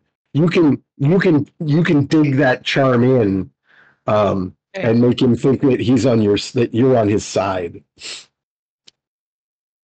Um, and with that nat twenty, uh, I'm just gonna say, yeah, he he sighs with relief, um, and and uh, and says, "Oh, I thank goodness uh, one of us." And this is all in Dwarven, of course. Um, thank goodness one of us has infiltrated this band of misfits. Uh, you will, of course, uh, mislead them in their little investigation. Uh, they, they, we, we cannot have them recover uh, uh, the the records um, that were taken. Um, you will, of course, help uh, uh, help keep keep them from. He, he's talking as though there's no way that this like Ugna and. Morgan are right there, And then- but he's talking in Dwarvish, and he's like, yeah, yeah, yeah, blinks and goes stupid like, non-dwarves. Why, why can't we have the records? What is wrong with that? In like perfect Dwarven. sir, sorry. I say Actually, it's important for you to recognize that uh, there there has been some there has been some compartmentalization within our organization, and you and I may be party to different parts of the same story. If you would fill me in as to the direction of the things from which I'm supposed to be keeping this party of adventurers, it would be much easier for me to oblige you in your desire to keep them from it. Uh, well, uh, well, of course. Um, I, I'm going to say, by the way, with the net 20 that uh, Howard rolled for Hollis, as Ugna starts to say in Dwarvish, why like a wouldn't I? little hit me There's like a little mailed hand goes, whoop, like just cartoon style, boop, right Yeah. in the mouth. I did not Um, realize I had that ability. I'm going to have to make note of that for future reference. I, I Mor- Morgan's just and then I gonna stop. Morgan's just gonna like swat his hand away from Ugna's mouth and pull Ugna closer to her with a scowl. Like she Um, understands, she understands that. Ugna needs to be quiet, but like don't touch her like Yep. that. Aw. This is and then Ugna's gonna gonna- like prestidigitation, some cleaning of the blood off of her to distract her. I also want to point out that with um, uh, Hollis could uh, could also be doing an emissary of peace on this with channel divinity with an extra plus five on top of his nat twenty. Um, but um, You are assuming that I have spent more time reading this character sheet than I actually have. uh, it's been a minute. It's been a minute since Gen Con. so yeah, he starts he starts um, he conspiratorially. Uh, and you can you you can kind of direct your friends here. You can like have oh yeah, Morgan is taking Ugna aside, and then you can conspiratorially you know bring her over here. Yeah yeah yeah. You go Spill my friend. Spill the fill tea. me in. Um, so uh, All, He all tells needs you. to do is go, Ugna, look dumb, and then Ugna's just sort of again slack jawed, like, I clearly don't know what's going on. That's my natural state. But I am listening. um, he says, uh, well, the it's the the the the Morwins, that sorcerer and his and his minions, they wanted the, the he, they wanted the records, they wanted the books, um, and they wanted that that uh, strange dwarf who came from the uh, from Karsh. Um, but uh, they, of course, um, you know, through our our allies, our mutual allies, of course, uh, they've uh, been supporting our our insurrection. Uh, in, soon, as as more of the lost have been um, making their raids, the um, and the the goblins and their other allies, the uh, position of uh, Embergrim and his and his dusty old uh, court uh, grows weaker by the day. Um, uh, and so the importance of this particular mission required that we we get them into the the library and and so that's why our our party was uh, uh, embedded with them and and led them uh, led them past our to have fallen defenses. On, you, you appear to have fallen on one another at some point. Uh, what, what, what did you run afoul of? What, what has gone wrong? Well, that damned beholder. We um Of course. I believe his name is Gary, and and he's he's coming this way. We better we better do something quickly. Uh, I, Perny will. I've got uh, him. I've got him charmed for the time being. Perny will Oh. throw an arm over Gary's shoulder, which he doesn't have because he's a floating ball of flesh and ice Floating ball. uh, and kind of like take him to the other side and like, um, I apologize for the improvised uh, eye examination. Um, I didn't explain what I was doing. We can we can finish that up over here if you have a moment. I promise it'll be much more. Now, the comfortable." the Shadow Smith fellow who, uh, who Yes. you have you have abducted. Um, my cell, my compartment of this grand, grand confederacy of ours, uh, uh, needs needs his presence. He's got some information that that we would. Uh, we stand in dire need of. Will you tell me which way he is so that we can collect him? Well, he's being delivered to the, the sorcerer as per our agreement. Um, he'll be taken to the um, uh, he'll be taken to the uh, the lower spire, uh, uh, which you got a, a shudder of cold when you hear that because the lower spire is the sort of um, mysterious name for the the city of the um, uh, the lost uh, the lost uh, house of dwarves, the Derogar, um, and uh, the the lower spire is what they call uh, their city, supposedly carved into a massive stalactite. Um, so it's kind of like a uh, an, an anti-dwarf city. Instead of being in a mountain above ground, it's in a giant stalactite below ground. Um, uh, it's and um, It'll be taken to the emissaries of the of the the Morwen sorcerer, and then they will fulfill the rest of the bargain, and we will get the magical arms we need to uh, fully unseat the Embergrims and uh, bring the true king under the mountain to power. Gives you a little elbow, eh? eh? Outstanding. Thank you. Thank you so much for your for your assistance in in this matter. Um, at which point, I think I produce because I'm dwarven law enforcement, a really really effective set of manacles. Amazing. Yep.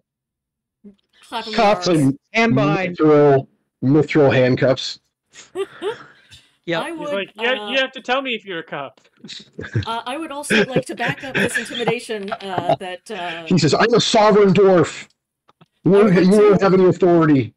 back up Howard's in, or uh, um, Hollis's intimidation uh, by leaning over with my very very scowly orcish face and say in very perfect dwarven, um, "I now name you enemy of House Shattersmith. May your hammers break and your beards fall out." Woo-hoo! Oh my goodness. Um, yeah, that's gonna break. Yeah, he's no longer charmed, obviously. Yeah. but um, uh, yeah, he sort of uh, um, uh, shouts a warning in Goblin um, to basically no one because by this point Yeah. all of the goblins are gone except the unconscious kobold you knocked over the head.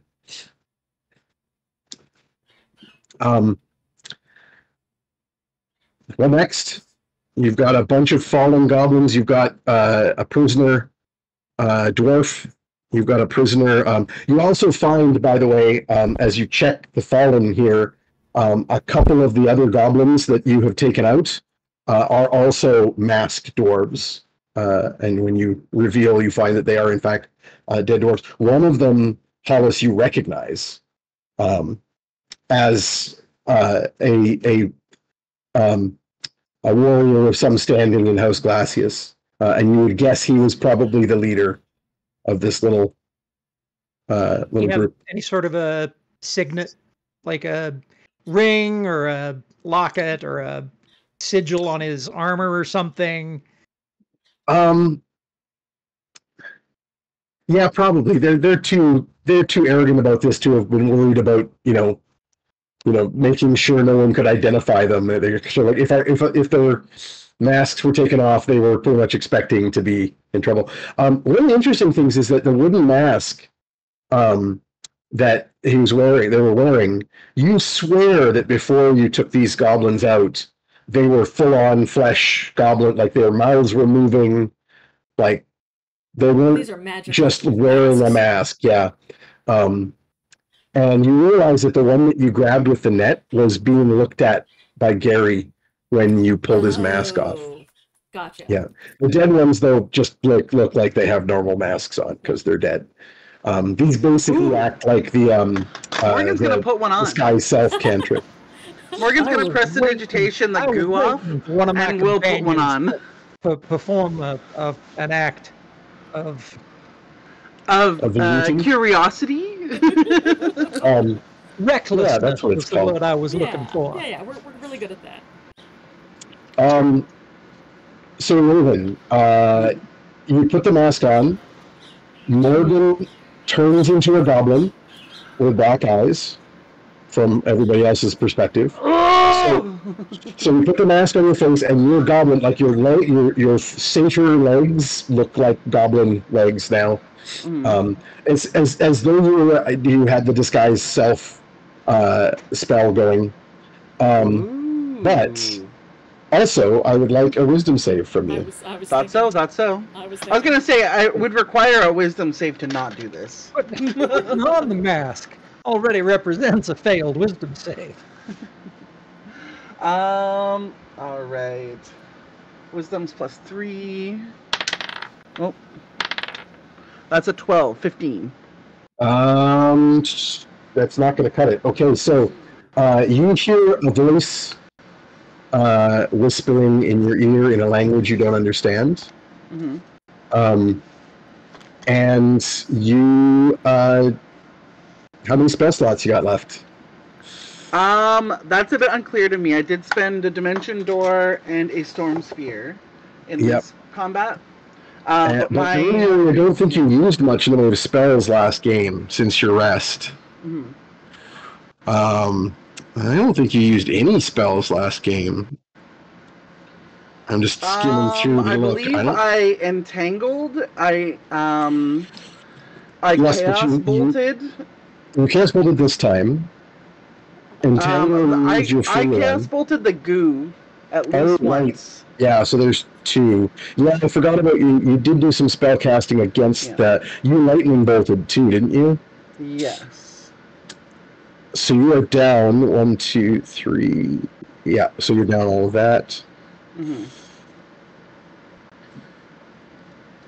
Uh, Okay, I would. so I just want to say, depending on how right now? smart this compulsion is, um, it would be better to use a um, a charm person or a um, uh, what is it called? Oh, buddy, uh, deception that I'm not compulsed. Depending on how well the compulsion works.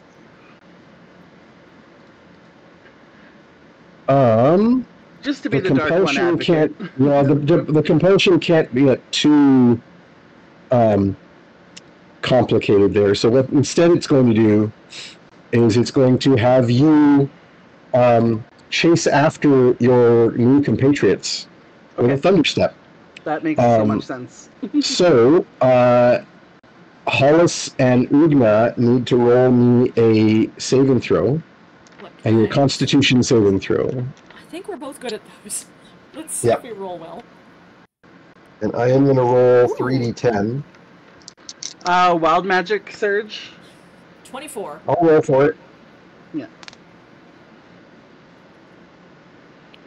Uh, 24 is going to succeed, succeed for sure. Yeah, it's 17. Go, go, go. So weird. You also have an additional bonus from being near Hollis. Right. Um, yeah, so Hollis, you're rolling your Constitution save. Don't forget to add your extra. Um, Yeah, I'm trying to figure out where the extra is. Sorry. it is. Or protection under Paladin class plus three. So you're adding a. you've got a plus five total saving throw here. Okay. 19. You succeed also. So you each only take 12 damage instead of 24. that's fine. um, thunder damage from the explosion as um, as Morgan, uh, having turned into a goblin, grabs one shoulder of the dwarven prisoner, and both Morgan and the prisoner disappear with an explosion of thunder damage. Um, as you thunderstep up the tunnel Well, that is going to make it much more difficult to bring him to justice. It's true. Um, Is and Morgan- quick you and your ally are, are going to try and escape. Uh, All now. right. So you, you are now up. If I may, for a moment, first. Ugna, um, you may have already already ascertained this for yourself. Don't put on any of the masks. Oh, good. I was going to do that next because that looked really cool. Do I need to roll a persuasion check on that just to be sure? No. Okay. Who fails those readily. I, Um, I kick I kicked the mask that I was about to pick up behind me. like scuff it with your like a, a mask. I wasn't going to put on a mask. What are you talking about? See, I knew you. I knew you were clever. I knew you were clever. I may have. I don't think you anyone's know, ever called me that before. Thanks. I might have uh, impulsive on my sheet somewhere, maybe, Maybe. just a little. Maybe.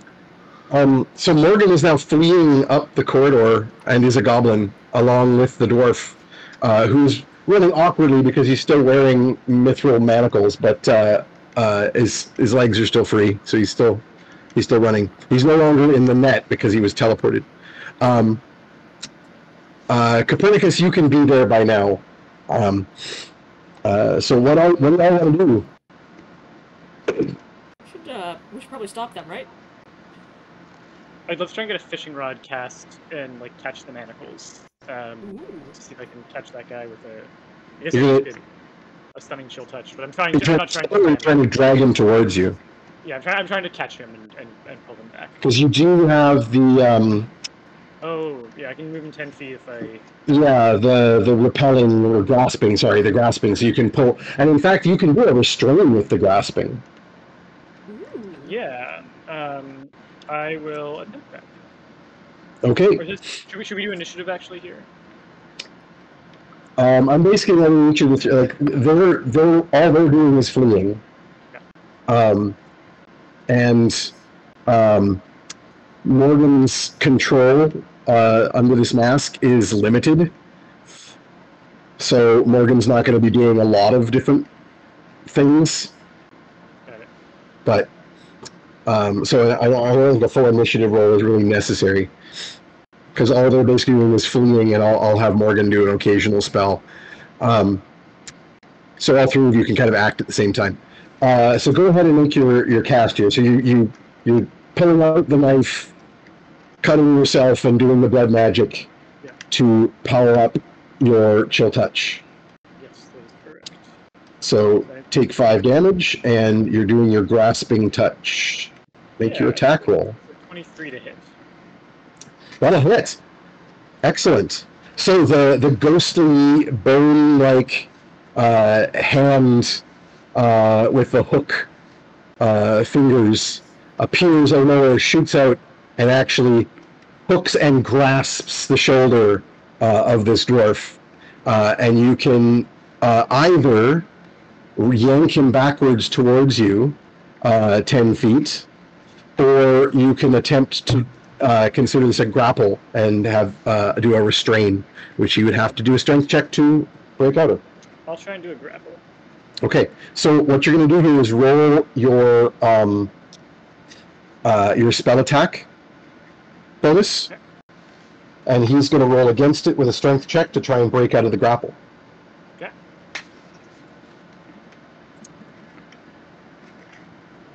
Uh, if I, if a 13's not gonna beat him, let me know. It will, because I rolled a five, and his bonus is not that high. Yay! Um, you successfully grab him. Uh, roll your damage because he still takes the chill touch damage. And I'm gonna make this subdual if I can choose to do so. Uh, 10. Not really, because it's necrotic, right? Yeah, it's like friendly necrotic. That warm and But fuzzy. ten damage doesn't doesn't take him out. Um, so he stops short as they're fleeing. Uh, Hollis and Ugna, what do you guys want to do? So they teleported like maybe 50 feet up the tunnel because that was probably about as far as um, Mor- Morgan could see. So that's about how far away. But then they stopped short, or at least the dwarf did, with this chill touch. This skeletal, spectral hand has grabbed him and not let him go. Uh, should we stop her? At risk of sounding cliche, our prey, the game as it were, is now afoot. Expeditious pursuit would be apropos. And I begin running. Okay, gotcha. Uh, Uh, And I, I, I I'm want to I'm pretty check sure- see if Ugna caught any of that. yeah, yeah, yeah. Let me. I, Let me I'm not roll. sure. I'm not sure how fast Ugna is, but uh, uh, I've, I've wow. done the math. The dwarf, even with full armor, only weighs about 200 pounds. Yeah. So I uh, I actually understood those words. I think because you said them in dwarven. Excellent. uh, you you have your boots of climbing and leaping. You could sure grab do. Hollis and bolt. Yeah. So I you you run hell for leather up the uh, uh, hallway, and then you hear a very thump. dangerous across short distances. You uh, you hear a thump behind you, um, or beside you, in fact, as Ugna takes like a step, a very long step, but goes, uh, I know a lot of people don't really like to be picked up. Would you be okay with me lifting you and carrying you? Do it, please. Alright, As I like, you're running full out, and I'm like just walking. and I'm like, I, all right, and I will heft you up onto my shoulders, and then Permission. bolt Whatever. down the uh, uh, hallway. Make Uh, in me an athletics check. Bounds. Make an athletics check to see how much faster than your normal movement you can go with this dash action. Eight, but with a eleven athletics, it's a uh, nineteen. Yeah, that's still pretty dang good. Yeah. Um, so you scoop up Hollis, and you can like close the distance completely um, and overtake. Uh, so Morgan was only able to, after the teleport, uh, to take like a normal bit of movement, um, and you are able to do more than double your normal movement and basically close that distance. Um, which means uh, Hollis can now take a turn from basically practically right there, like caught up with um, Morgan and the uh, the dwarf. What would you like to do? Me? Yep. Attack? Um. No, not you. Oh, sorry. Hollis. Hollis. It's Hollis. I need to hear from. We've completely ditched Gary and Grandpa. Yep. We're still way back there.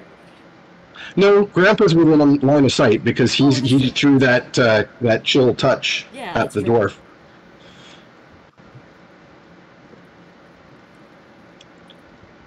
He helped. Well, I, I think I gotta take the mace and swing at the face and uh, burn a spell slot to smite some evil. At, at Morgan or at the you gotta dwarf? get the mask off, right? Yeah. Yep. Mace So you're to attempting to knock the mask off, basically. I mean, I realize Morgan now looks like, Like a a goblin. Yeah. goblin. It, it, I'm gonna do a quick Arcana check. It's not my strong suit. Uh, dirty twenty. Oh, that's pretty good though. Does smiting evil to the face seem like something that would help? Evil is weakest in the face. I've That's heard. true. I've heard that. So I guess I will say with that really good roll, I'm going to say um, you would know probably three options to try. Okay. Um, one would be to physically try and knock the mask off, um, which you, you know an attack roll could probably do. Oh, excellent! Well done, Morgan. Amazing. Nice. You're a little bokoblin. It's a me, Bokoblin. Bokoblin. Bokoblin Morgan. Um, a second option would be that you do have the hold person spell, uh, so you could attempt to um, at least stop her. Restraint. Yeah, So- restrain her so that you can then do whatever else you got, like just literally pull off the mask. Uh, and then the third option, uh, as a uh, paladin, um, you might have a spell, and I'm just double checking if there is a paladin spell that can kind of stop an influence on someone that you would have access to. You have level two spells. I guess calm emotions would be the most. Yeah, I think the other options probably make more sense. The hold person or physically trying to knock the mask off. Let's cast hold person Seems good. Okay.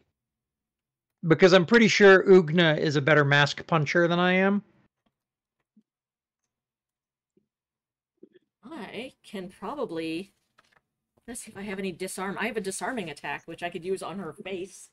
Yeah. Okay, well, this is a simultaneous then, so let's go for it. So uh, I'm going to make a wisdom saving Peter. throw. Peter, use your brain. I can't say anything right now, but Peter, I know you got you you have in you the information needed for this to be easier. I'm just gonna say that. Oh, that's right. Just make the mask look in the bucket. Oh no! I need a saving throw from Morgan. Well, Morgan, I need a wisdom saving throw. all right, all right, all right. Let's see. Um. Oh my God! Wait, is this charm? No, Okay. it's a whole person. No, no, no. The the the mask. effect. Uh, the mask because I do. No, have- it's it's more of a possession. I know I know you have a fey-like Okay. resistance to charm, but that's not what Alright. this is. All right. That's why you're not just acting of your own volition. You're doing a limited set of Uh, I got a twelve. Um. That's not gonna. dice. Nope. With your bonus, that won't be enough to make it. Okay. Um, So that will be a successful hold person. So you are paralyzed temporarily. Um, Ugna, go ahead and make your disarming attack with uh, advantage because of that. Okay, I am not going to use a weapon. I'm going to use my fist. Yep. Uh, This is the scene from uh, Avengers where Thor just rips off uh, Iron Man's face. I uh, I'm gonna spend an inspiration to not crit fail. That's probably a good idea. Sounds very wise to me. I like uh, that when you were holding Pico makes it look like you were going to roll him, Yes. that he's the die. He wants me to roll him. He is in maximum crazy mode right now, and uh, Just because he's been in, he's been all cooped up, and he's a sad little guy now. yeah. Yeah, he's got to get all out his crazies. Okay, that's much better. Um, so 12 plus my hit bonus, which I believe is a six. Yep. Would Be 18. Hi. Uh, I need another saving throw for Morgan, please. Uh, this time it's a strength saving throw. Oh God! all right. Yeah, we're not good at this. Uh, this is only oh mine only a plus one. Okay, not too bad. So silly. Sev eight. Yeah, no. yeah. You just like slap the mask right off. Um, uh, Peter, Yeah. the uh, dwarf is trying to break free. Uh, please roll another uh, uh, uh, spell attack. That is a 28. Uh, is I'm not even close to that remotely. Um, in fact, you rolled so well. Uh, he like tries to pull away, and you like hold him back, and then sort of turn him slightly and let go, and he like just throws himself headfirst into a rock wall and knocks himself unconscious. No. Um, is there any chance that he is the kind of uh, hurt where I can do spare the dying on him? Uh, he's not even. He's fine. He's taking ten damage. Okay. I really need to I really need those spare the dying hit points for my um, uh, my fate. Um, I mean, you could cast it on. You could cast spare the dying on any of these. Like you, you're in a, an area filled with dying goblins. you know what? I will. Uh, I'll I'll do a. I'll I'll take ten HP. You get you get your you get your spare the dying off at one of these random. Yeah, I I also don't want everyone to just randomly bleed out at the bottom of the cavern, especially Yep. if they're possessed. So I'll, I'll I'll do a round of spare the dyings here, but I'm gonna I'm gonna restrain our guy Okay. again. Or, or Morgan. disabled. Yep. Uh, Morgan goes and you're back to normal. Do I remember what happened? Uh, yeah, you heard this this hideous voice whispering words that don't mean anything to you in your head, and it made you like see through a mist and do things that you know. You just remember trying to get away from enemies. Uh, Yeah. Morgan's gonna wiggle her head and ah, get rid of that. Take the goblin mask off. Nice. Um, and uh, go. God, I Are guess we. all right? Oh, you know what? I think this is about the time that we all exchange our safe words. Oh yeah, sorry for I smacking think- you. I just I figured the mask I was really think- bad. No, no, no, no. I just think like overall, and in case possession, and she gives, like, just to deflect from her own feeling of sourness at being possessed, is gonna be like possession, emphasis on an eye look over at Perny, just in case something like that happens again. You know, we have uh, a way to uh, check in. It, it, it's an, You know. enough of an occupational hazard that I, I think that that's that is warranted. So what's everybody's safe word? Wait, is this the gonna- word that you say to say that you are safe and you are yourself, or is this the word that you? Because we won't be able to say it if we're possessed. So how do we want to do this? How, how are we? How are we organizing this? Hmm. Um, I guess it should be a phrase that you like call and repeat. Um, and then Morgan's gonna go to text on her crystal to Perny. Um, uh, call call and response Skoden and Studis. Amazing. Uh, so you have to respond when um, that way, either through our PernyNet or um, aloud or written, to to communicate that you are not possessed. Uh, and and we'll we'll say that. And and before you send this to Ugna, tell her not to say it aloud. Um, Okay. right now. Um, If somebody fails Okay. to say the answer word, then we know that something's up. yeah. Okay. So, uh, Howard, did you want? To, I know you don't have the notes from Gen Con uh, on you. Uh, did you want to explain to any of the party sort of what the whole deal is with this dwarf family?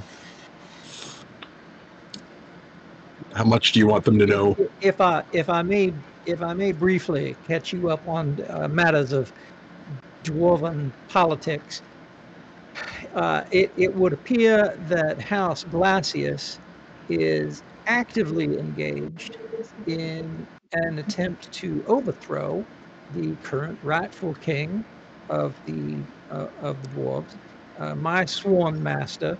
Understand, I, I am sworn to law, not to an individual. But this individual is by law the king, and so that is where my loyalties currently and of necessity uh, must lie. Uh, this fellow is from House Glacius, and the deceased dwarves, uh, once we got the masks off, uh, they also appeared to be from House Glacius. And so uh, it behooves me, as an agent of the lawful king, to present as much of this evidence to him and to the the powers that be so that they might prepare themselves for whatever might be coming. Yeah, but what's what's Although the in that spiral? vein, whatever might be coming is probably coming from the direction we're headed. What's the so- lower spiral, Hollis? I've never heard of that place before. But if they're taking Sal there, we Oh, gotta that. Uh, you, you know, you know what a stalagmite is? Th- Those things that hang down from the top, like that. over I thought there. it was. I thought that was the ones that hang from the bottom, Stalagmite. that are like poke up from the bottom, don't they? Oh no, that's a stalagmite. It's got a G in it. What? Stalactites from the ceiling. No, no, no. Stalagmites from the ground. Oh no, you want you you're you're right about that. Uh, it's the the That's what stalactites. Salo was saying. Hang on tight. The stalagmites. I could uh, never get them up from the together, ground. but then he told Yeah, the, the the lower lower. I always, spire- I always make the, mix these up. So what's the rule? How do you tell which G- one's up G and is down? ground. got a C is G in it. It comes from the ground. Which one has a G in it? Stalagmite. Stalagmite. Oh, okay, that one. All right, cool. Oh, Copernicus, you were rolling the uh, history check with disadvantage, as I Oh, we don't need to go back to that. we can forget that ever happened. The happened. lower skein is a city inside a city-sized stalactite, or so I'm told. Personally, as as the son of stonemasons of no small no small regard, I find that difficult to believe. So not Seemed the one that. best place oh, to dig. so okay. Hmm. Um, are are you mentioning that the the the lost? Oh, yeah, it's a city of the it's city of the Duergar, the uh, the lost lost tribe of dwarves who uh, almost uniformly failed to pass a detect good check. Oh. It seems uh bad. I do not mean to strip them by agents of their agency purely by virtue of race, but for cultural reasons. They are not agents of wheel. Wait, wheel's good. W E A L. Mhm. Oh, okay. Okay. Yeah. So okay, and that's where S- was now, presumably. big hanging city of bad, angry dwarves.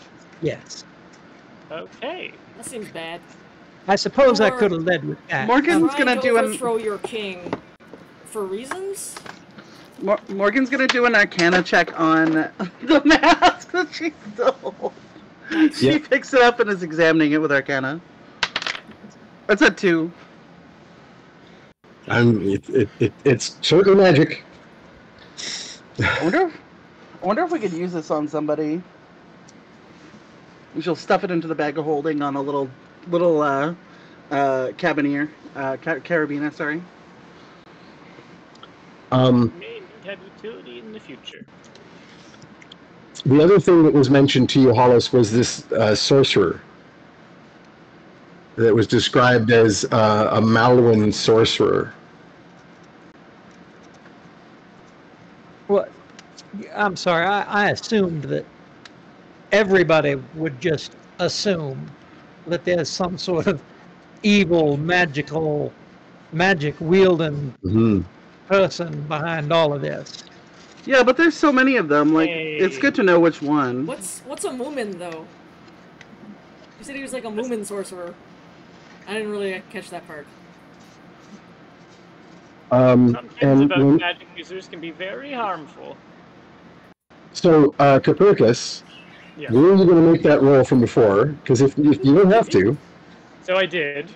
okay. And it wasn't good. It was a nat. It was a nat one on the second roll, and the first roll Okay. was not amazing. then we weren't able to dredge up those memories. Um, but I would now like a history roll without disadvantage as soon as you hear this name. That's a 21. Nice. Okay. So.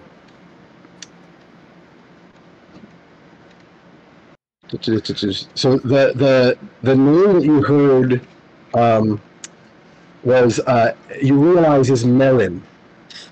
That uh, that they, as they all sort of stumble around Malin, Malwin, Marwin, um, and you have heard of House Marryn. Uh, so that's M A R R Y N. Um, the Marryns are one of the noble houses of the north. Um, they had considerable house uh, or power and influence. Um, they're one of the old houses. There's only a few old houses of the north. Um, and you, of course, you know several of the old houses because that the Langarians, for example, the Strax, uh, the Boltries are not an old house. They were a lesser house that has recently risen to power, and you now know why because of uh, certain uh, selling of Tromlin to uh, our firstborn sons to the Fae. Um, no, the old houses of the north are the Blackmonts, who you guys have encountered. Um, the uh, uh, who you've encountered. Langarians, the Strax, and the Marryns. The Marryns, uh, the party has not encountered. They are uh, Easterns, Easterlings, people from the deserts of the East who had a lot of power before the rise of the Chaga Khan uh, back in the day. Uh, and they had lost a lot of their power, but Baron Nicholas Marryn is someone you personally are fairly familiar with, Copernicus, because Baron uh, Nicholas holds power in the city of Morwendel. Right. And I don't know if you remember much about the city of Morwendel because it's been a long time. My, my ancestral family home is there. That is where your ancestral family home is, yes. The city of uh, so a a Marryn sorcerer uh, sounds like a sorcerer that has something to do with the the city of Morwendel. And this might be a good time for Alina to pull a map I up. I am looking for that. Give me half a second. Uh, meanwhile, I'll just sort of Northlands around Mud Hollow? no the I don't think that one shows Morwendel. No, it doesn't. Okay. It's the original Northlands of broader map. Yeah. The broader Northlands of Karsh. Um, There we go. So while you're doing that, um, uh, so as Hollis is explaining this to you, uh, um, also with that history check, you um, you know a little bit about these names of the the houses of the dwarves. There were originally seven uh, great houses of the dwarves. Um, the uh, the seven houses of the dwarves, of course, are Phaneris, Aphanus, uh, Porphyrus, Pyroclasius, Pegmatus, and Glacius, um, which and that that's a deep cut uh, geology joke because you've got a scientist as your DM. Um, those are the six types of igna- uh, igneous rock, um, and then the seventh uh, of the houses of the dwarves are the lost. They're the house that was lost to the worship of evil gods and demons um, in the Underdark uh, who became known as the Duergar.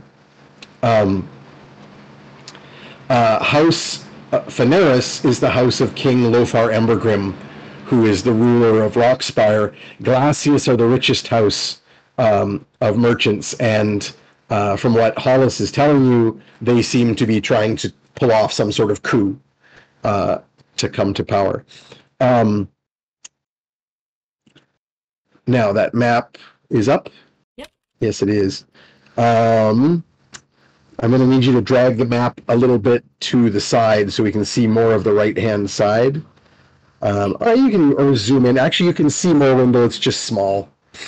I think if people want to um, full screen the stream, they'll be able to see There. Uh, Morwendel. more window, which um, you'll notice uh, is on Lake Morwindle, um, on the edge of the Iron Peak Mountains, um, which maybe gives you a direction.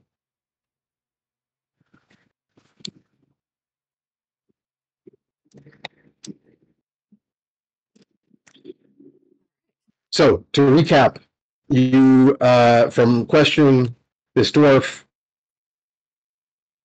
uh, you believe that the goblins with the black eyes are taking the uh, taking Sal to the Duergar, and they have got some kind of deal with a sorcerer from Morwindle. Yeah. Um, although I'm not sure how much of that you're uh, revealing, Peter. I'm assuming. I'll pass all of it, I'll, but- I'll share all of it. Yeah. Come on, buddy. Stop biting. Uh, are you are you sharing the whole thing about um, Buddy. No.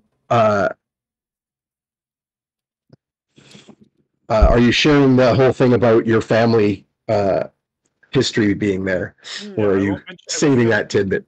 I won't mention that. It's not relevant to the current situation. Not hiding it, just not relevant to this exact uh, juncture. There's Okay, evil sorcerer Um, from Morwindle and evil city of dwarves. so what's next? Well, I think we do need to make our way to um, that that spire. Um, uh, we we I know Yeah, that we- we won't leave without us being able to recover Sal. Yeah, we got to Um, get Sal back. Especially like if these guys are real evil. Who knows what they're gonna do to him? Um, now, Tromlin normally helps us with our disguises. Is are any of us proficient with disguises if we were to try to um, infiltrate this city? I can look like whatever you need me to look like, provided all you need is for me to look like me. Well, that may not do in this particular circumstance. Um, all right. Well, I think then we will do. Uh, hmm. So there's no way to put the masks on and be, to be sure that we are going to get a result, but we are in control of ourselves. Is that Yeah, that seems like a bad idea. okay? All right. Um, Can we be invisible? We did that before. We could just be invisible. That's a good point. Um, so how many are how many are we right now? I assume we've lost Fetid and Ollie in the scuffle.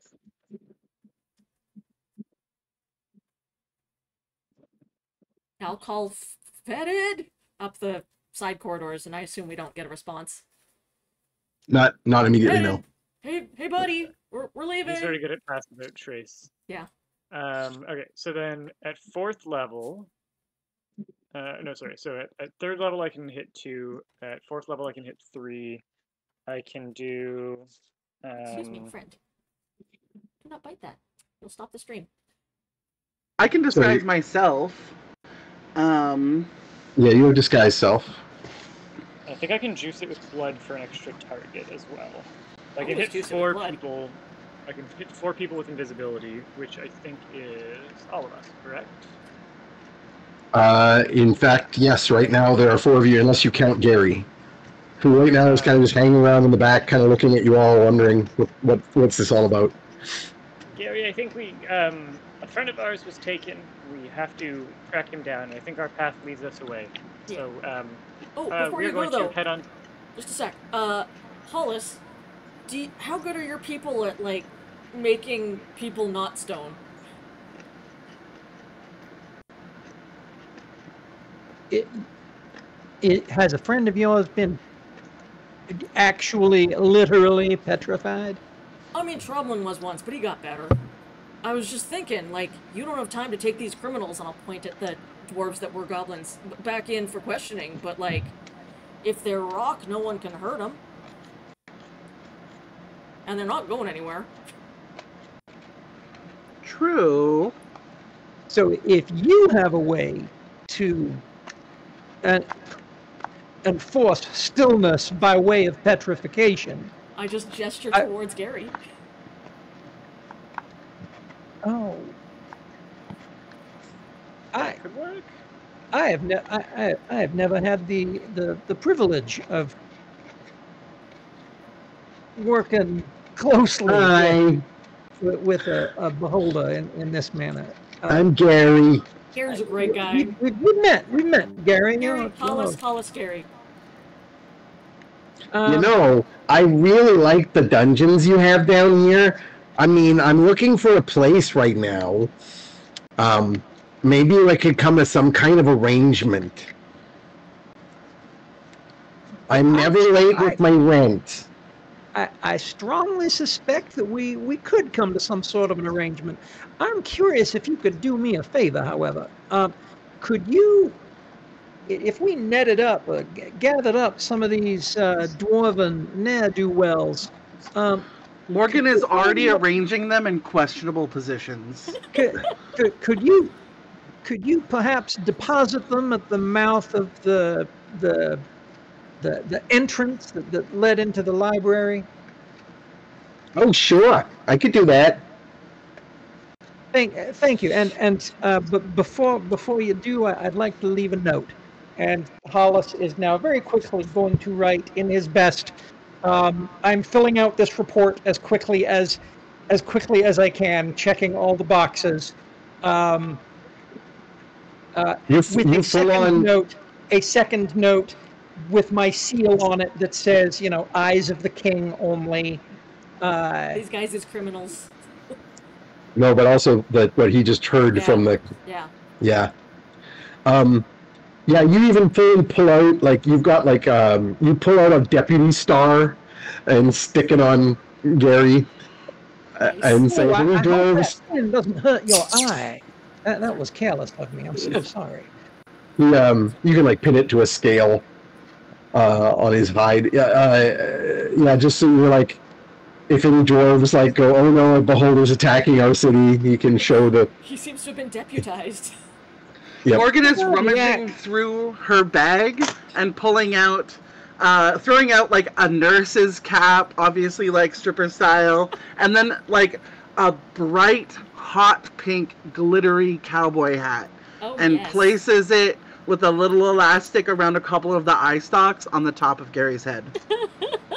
That's perfect. Gary, per the uh, the uh, posse dwarfitatis uh, legislation enactment, whatever, my legalese is too rusty to improvise. Um, uh, I have I've deputized you to carry these folks upstairs, and then you can be on your merry way. You uh, you need not assume any other duties, and uh, we should exchange cards so I can perhaps arrange uh, suitable housing for you. Uh, he's got like a beholder card. I don't know. So it's like a card that just has his monster stats on it. I don't know. Um, It's just a stat block. Yep, it's the monster stat block. Um, sure, yeah, and we're like telekinesis eye and hover this like tied up bundle of uh, prisoners uh, and go floating up the, the corridor. But to Uh, fair, one of them is a prisoner. The rest of them are corpses. Uh, there, you've got a um, bunch of them at spare the least dying. You've got whoever was spare the dying by Peter, and you've got the kobold that was knocked unconscious and not Right. actually uh, harmed, um, as well as your manacled dwarf.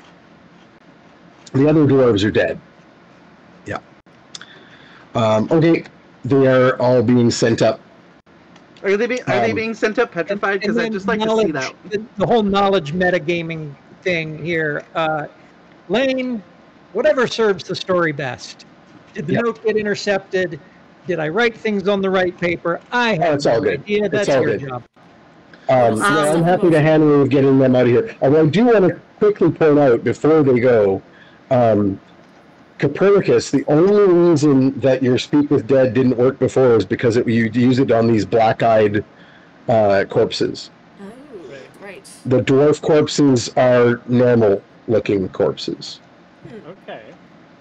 Uh, before we send Gary off, do we want uh, the opportunity to um, interrogate one of the fallen?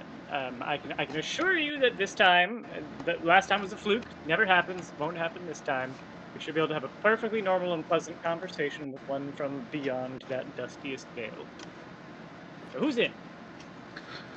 Uh, Morgan will. Arcana, Morgan's like- sixteen Arcana. So, I, I believe I believe you're correct. I, I think in in this instance, uh, an interrogation of the departed will be safe. Morgan Um, just wants the the uh, the goblins to be um, petrified and watch it happen uh, one by one, so that she can study it for like future Arcana rolls to go. Ah, I kind of understand how this works. Cool. So that's what we're Uh, doing. That's all she wants. That's all Speak she of wants. dead is just five questions. There's no no rolls here, but I- I remember, should, uh, proper form here. Um, I can neither turn us in- invisible nor um, keep it dead until I do a short rest. Right. Uh, so Yep. can we do an hour, and then I'm also going to recover some hit dice. so in the interest of time here, but also I think uh, I want to point out that you you are still in pursuit of the the goblins, and you don't know if they've gotten Sal to that city yet, or if they're, you're just still catch up. So you probably don't want to wait for too long, but you can easily grab the fallen. Uh, there's only the two dwarf corpses here, and one of them what you thought was the leader. So Right. that particular corpse, you can just grab it and bring it with you. Like Ugna's got plenty of um, Yeah. Corpse carrying capacity. of capacity, um, and then just carry on uh, and have that as an a, a- attempted um, questioning at next opportunity. Cool, sure. Um, so Gary will go ahead and on the subject of, of safe words, if you will take a look at the, the back plate of my armor here, there's a there's a, a bit, a, a loop, a steel loop that can be flipped out for hanging in lockers in the station. Okay. Um, you can grab that, and I will just come along. Sounds good. I I got a clip for that. if you don't mind, I will flip it out. As this and I most got- Game purposes, Yeah. now Ugna can in fact quick draw the dwarf. Amazing. Nice. Love it. nice. as really gay characters, we just have so many carabiners. We super Most do. like some of them are from like the adventurer pack, but most of them are pretty gay. They're just for flagging. Nice. Okay, um, so you carry on in pursuit, um, and you go further and further down. I Um, You're going to carry me as well so that I can short rest on the way. I, I need them spell slots real bad. I'm I'm happy to. to it's going to take. like, I'm I'm fine with that. I'm also going to do a little quick um, uh, retcon here because I don't think I want to keep Fetid fully written out for this because it's such a short game here. Um, so when you go and call Fetid, yeah, he he he comes back up the the, the corridor with uh, Ozymandias having been scouting ahead a little bit. Um, and having him with you means that he can do all of his underdark tricks to evade traps yeah. and give you guys your um, pass without trace, so you don't have to worry as much about running into creatures and monsters. And so you spend a number of hours um, traveling deeper into the Underdark um, as you uh, try to um, catch up with these goblins, um, doing like a bit of a force march. Uh, Hollis and Ugna both are extremely capable of a forced march. Uh, you're carrying Copernicus. Fetty is riding on Ollie's back, um, and will invite uh, Morgan to join him. It's a large creature, uh, although it has it, it smells a lot like sulfur, and you may want to press to prestidigitate a lot.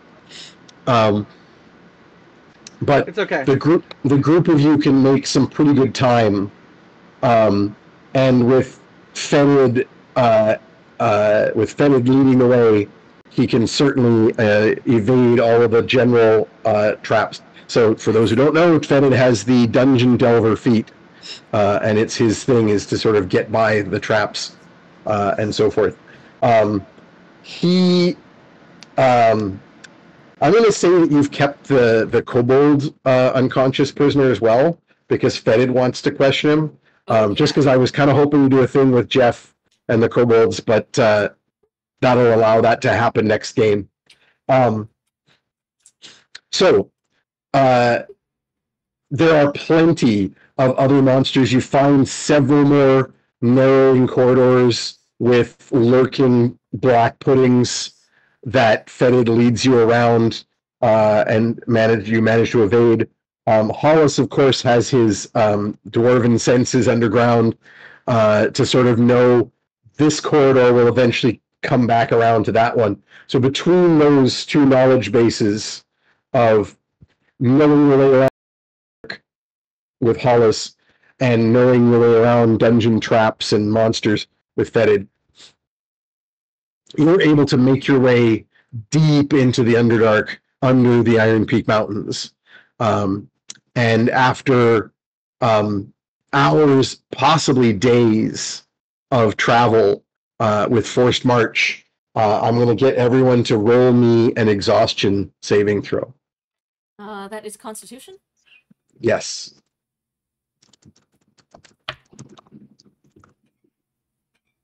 Twenty-one. All right.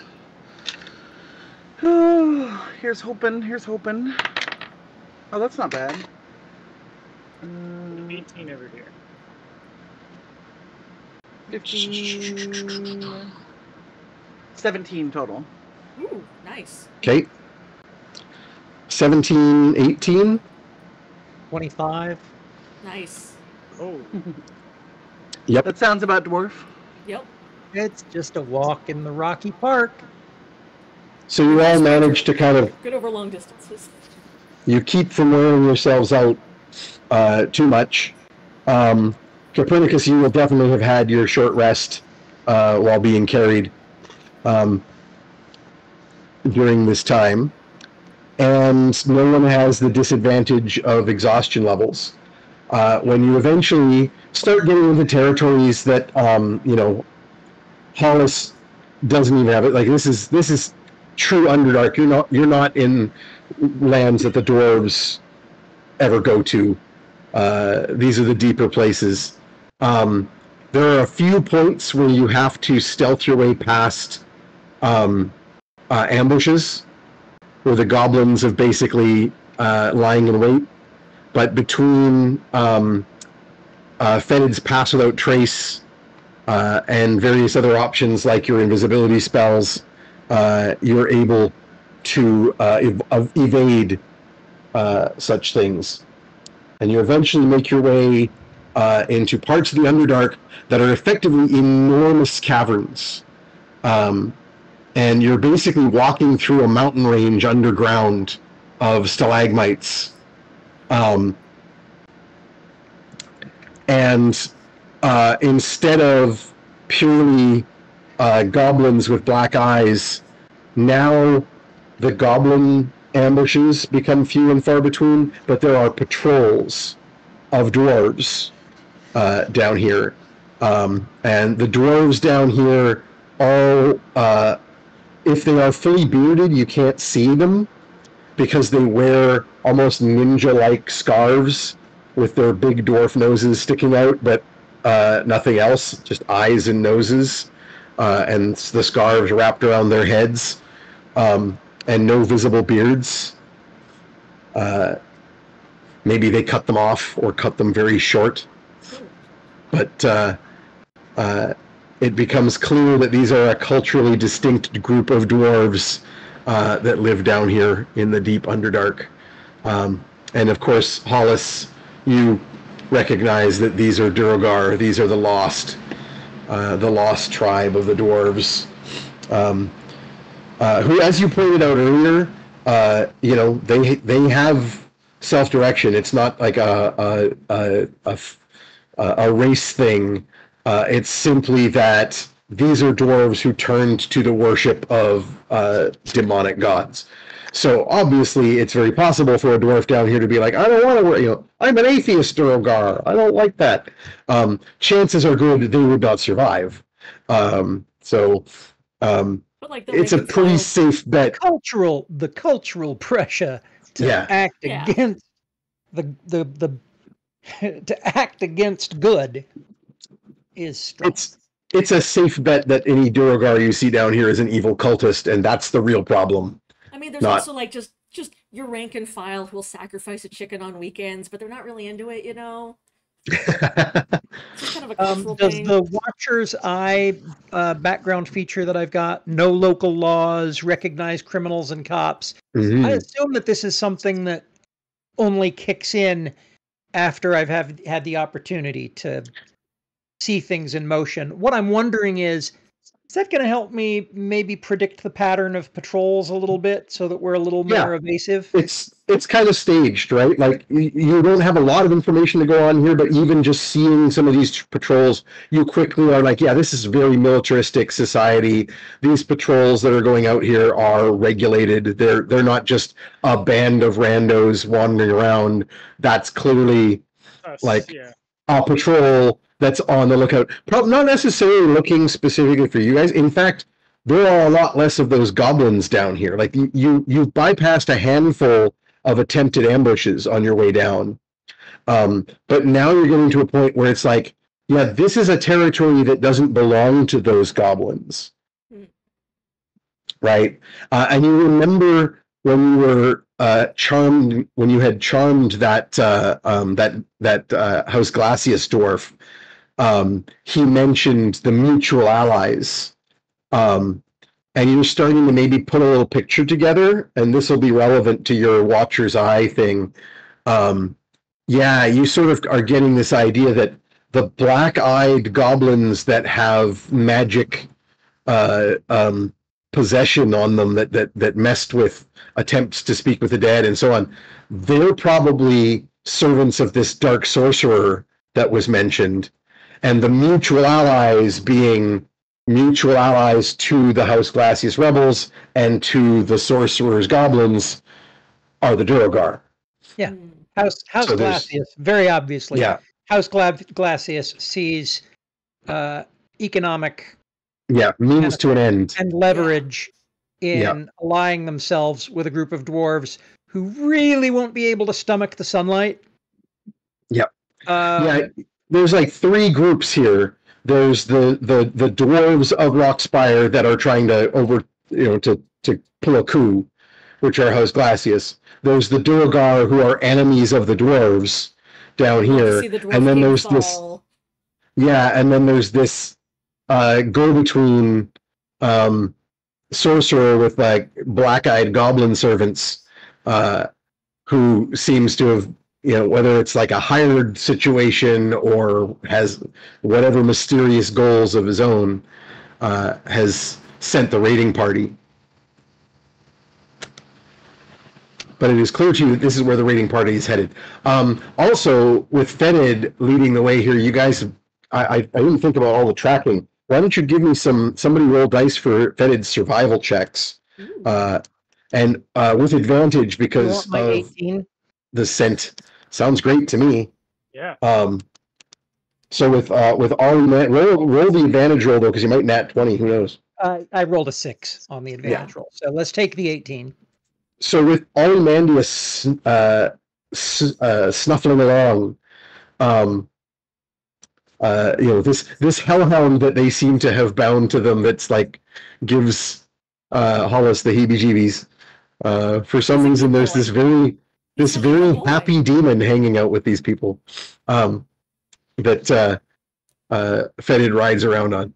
Um, but uh, between the scent that Ozymandias picks up and Fetid's tracking skills, um, you know you're gaining on the group. You also can get an estimate as to the size of the the group that you're now following. There's now maybe ten of them after your attacks. Um, you think that they've lost a few and gained a few in their attempts to set up ambushes. There's been like a few left behind that you bypassed, and but others have joined the party to bolster its ranks a little bit. Um, but there are less than a dozen of them, uh, and occasionally in the march, um, uh, Fetid will be able to detect heavier footfalls of individuals who are burdened carrying something, uh, and you're fairly certain that uh, as a prisoner, Sal is probably completely uh, unconscious or tied up or immobilized in some way and being hauled around by these goblins rather than being forced to march. Morgan Um, is um, riding one of Ugna's shoulders, Yeah. or oh, depending on the height that is available, uh, and if not, has uh, definitely fed a little um, uh, baggie of grapes and a little juice box to Perny in the in the little baby carrier. Yep.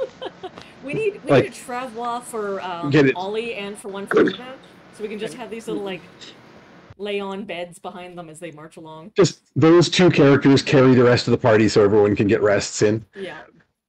So Yeah, we're not- He actually can't digest properly, but he, it's so sweet that you're doing this. So he's like fake eating it, but like tucking it down his shirt or whatever for a while until he has like the grapes start to leak out around his stomach as they start to like accrue around where his suspenders hit his very tight waistband. Um, Just like every like, other baby. Shoulder just, massage. just like he's just like stuffing away. Maybe he's like tossing it to Ollie. oh no, that gra- uh, grapes are very poisonous to dogs. That's Oh good. no! Yeah. And Oh, it's no. fine as a hellhound. Nothing is poisonous to him. Okay, great. Um, definitely over to Ollie. or fetid, for that matter. Yeah. Um. Yeah, you can like massage Perny's shoulders and like squirt a squirt bottle in his mouth that he can then spit into the bucket that he's got. Um, and uh, Uh, when, when Barb and I do spitting stuff, we do it privately. no. Okay. Um. So what I want to know now is, as you're getting pretty close to your your quarry, but you're also in uh, enemy territory, what is your preferred strategy here? Are you going to try to just follow them to wherever they're taking Sal, and then go with the what if we go invisible and sneak in and try and break them out of the enemy city, or are you going to try and haul ass and overtake them? uh, using your various dungeon mastery here to try and cut them off uh, and try and rescue Sal before these goblins make it to um, uh, to the, the dwarf fortress. I think cutting them off is a good first resort, and then infiltrating is a good second. If anyone, uh, does anyone else agree with that? Agreed? Oh, I, I absolutely agree. Agreed. I will say the one trade-off is that if you are uh, going that route, you're it's riskier, right? Because that's you're not going very quietly and stealthily through the dwarven territory. You're going to be going hard to try and cut these guys off and catch them. So that's the basic trade-off: is you're you're- you're taking greater risk as you go through enemy territory, but you could potentially rescue Sal before uh, he's actually locked away in in a in a Yeah. fortress. Seems preferable. I have a hard time believing that there is less risk involved in breaking a prisoner out of the middle of a dwarven fortress than there is in making haste to prevent him from being locked up in the first place. Oh, oh. Speaking of, do you have any more of those uh, those handcuffs?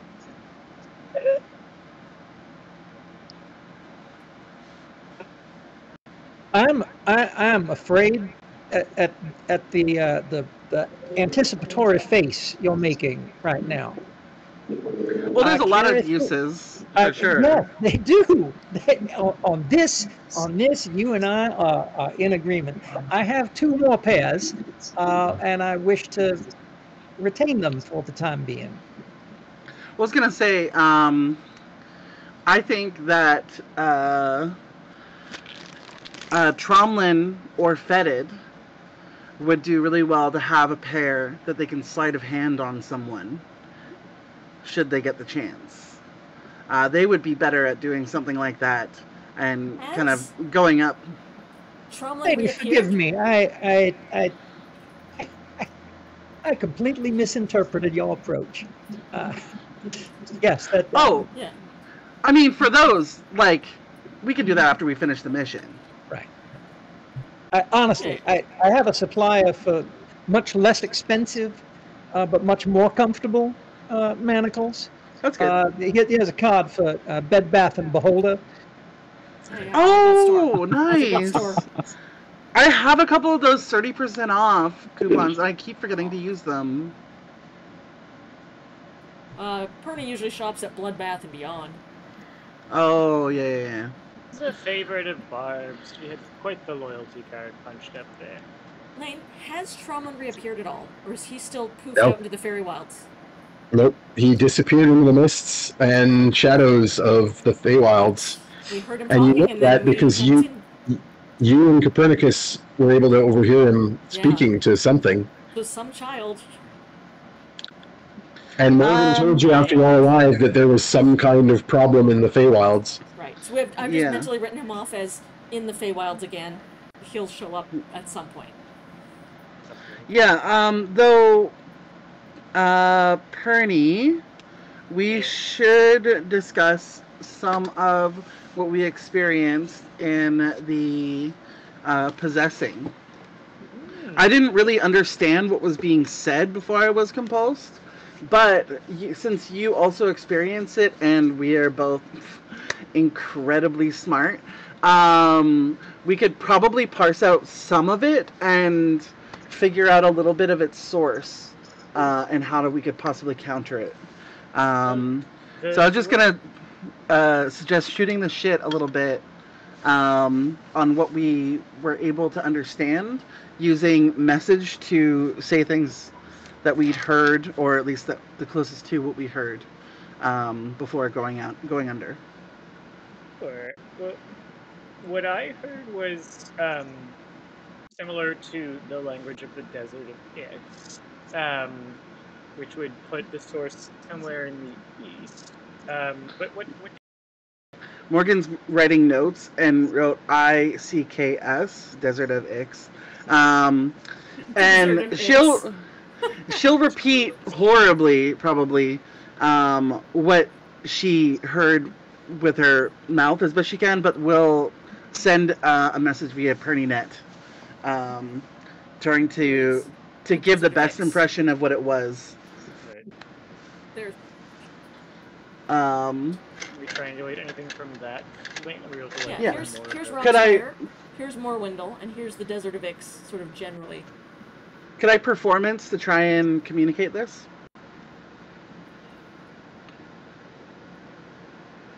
I mean, it's up to you. This is between the players. Yeah, uh, just I'll I'll do a performance roll to try and um, best Oh. convey what I'd heard. Go ahead. And Alina, did you want to pull up the bigger world map? Oh, sure. I just want to impress that the Desert of Ix, there's that city of Direwind there on the edge of the desert, which is where trade goes through. I got a 19 on my I'm gonna- performance roll. throw an arcana on that, try and figure out what's going on from that. I got a 25. the Desert of Ix is very large. Yeah. And we only see So I just want people to see how it. extensive the Desert of Ix extends to the east. It starts here, but it goes Oh, all the way yeah. over. All right. And we're under that. No, not at the moment. You're s- somewhere deep under the Rockspire Mountains. Yeah, we're sort of still up here. Um, you would probably know, uh, Hollis, that uh, just from direction sense of being a dwarf underground, uh, that you've come a fair ways east. That you're like near the near the foothills.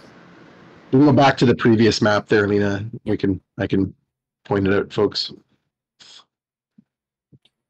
Um, no, sorry. What was trying to what was being conveyed? You guys both made rolls there, but I'm not sure I understand. Uh, I did a, a 19 to performance um, to try and communicate best what my possession was like, what I'd heard in the during the possession, either by mouth or by um, the you referring Um, and the, then the, these otherworldly uh, noises that, you're, that that you didn't understand? Yeah, so that we can try and arcana history um, I think or- with those to rolls, prompt the roll. yeah, those rolls are pretty good. You're not going to be able to interpret, but at least I think Copernicus, you will believe that that was like abyssal tongue, like that was that was somebody doing like some, you know, serious nefarious magic. Got it. Okay. I'll, Okay. I'll, I'll communicate that along.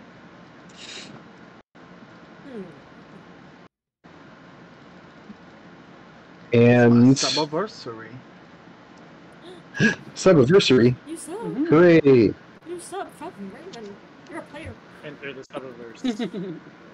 So I think as you're attempting to overtake uh, more quickly, I think to finish off here for uh, uh, tonight's game, what we'll do is we'll make a series of rolls to s- determine uh, how successfully you're able to do that uh, without attracting attention uh, from the guard patrols. Awesome. So, uh, number one, I'll get a roll from Hollis on sort of your underground uh, wayfinding. Let's call that a survival roll with advantage. So I know you only have a plus two, but you have advantage on the roll being a dwarf. Okay. Um, 18 plus. I've got Plus two. four in survival, so 22. Oh, was I looking at the wrong character? No, I was. Yeah, you're better. I was looking at Copernicus' survival. Yeah, you got a plus four. Um, cool. So excellent. Um, and let me get a roll uh, from someone to roll for Fetid, uh, and we'll get the um, his survival check in order to uh, kind of get ahead of these uh, uh, of your prey. Uh, and this is not with uh, the sniffer of Caper- of Ozymandias mattering, so just a straight survival roll. Who's rolling and what do you got? I'll roll. All right. I rolled a two. With I'll plus spend one of my inspirations on that. Sure. Do you have any left? Oh, uh, no, Fetid never does. mind. Can we spend a fetid? Sorry, fetid. I won't spend a fetid. Yeah. Um, with also the knowledge that that was only two more. Ooh. Yeah. Okay. And now everybody roll me a stealth roll individually and add an extra 10 because of these pass without trace that Fetid is giving you all. Okay. 24.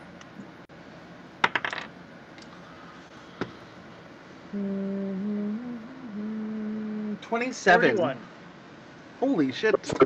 21 is the low one so far, and then someone roll for uh, Hollis. I still need a stealth roll, and someone else I need to roll for Fetid. I rolled bad. Someone else. I rolled a 7 for Oh. fetid, All right. which is still not great, Okay. but maybe not as bad as you rolled. Yeah. My two and a stealth four. roll is flat, but it's a 15. And then you get a plus 10 for the 25. pass without trace. Oh, So that's a 25. 25. Okay. I'll take it. Uh, Fetid has a plus 8, so that becomes a 25 as well. Nice. So 21's the low Your still. 7 becomes a. So 21 is the low roll um, for stealth. And with the 12 survival, Fetid is having a little bit of difficulty evading patrols. Um, but your stealth is good. Um, so I'm going to roll now to see if any of these patrols overcome that 21 stealth. Okay. So, Fetid is trying to overtake these goblins before they get to the Dwarven city. Um, and uh, between Hollis's knowledge and, and wayfinding underground and his uh, survival dungeoneering tricks, uh, you manage to evade any, any immediate traps, but you're not really gaining on your quarry. Um, and then, as you approach, uh, you you get to a point where the the stalagmite mountain range that you're passing through suddenly opens into a massive ravine that plunges even deeper into the underdark, like a giant axe uh, of some impossible mountain giant had cleft uh, the very uh, stalagmites in twain. And in that huge cleft, there is a ridge of hanging stalactites, uh, the central one of which is impossibly huge, uh, like a like a veritable mountain above ground, hanging downwards into this cleft, and you can see um, these dim purple lights glowing in various caves and caverns uh, and windows uh, carved and built into this spire. You can see uh, almost uh, like steps spiraling around this huge stalactite um, with other smaller stalactites like towers hanging around. You can see weapons and ballistae uh, sticking out here and there as this like insane, absolutely impossible upside down dwarf fortress hangs from the ceiling of this impossibly huge cavern. Um, Hollis, you this could not have been built in any way but magic. Um, you know, this is all stone shaping.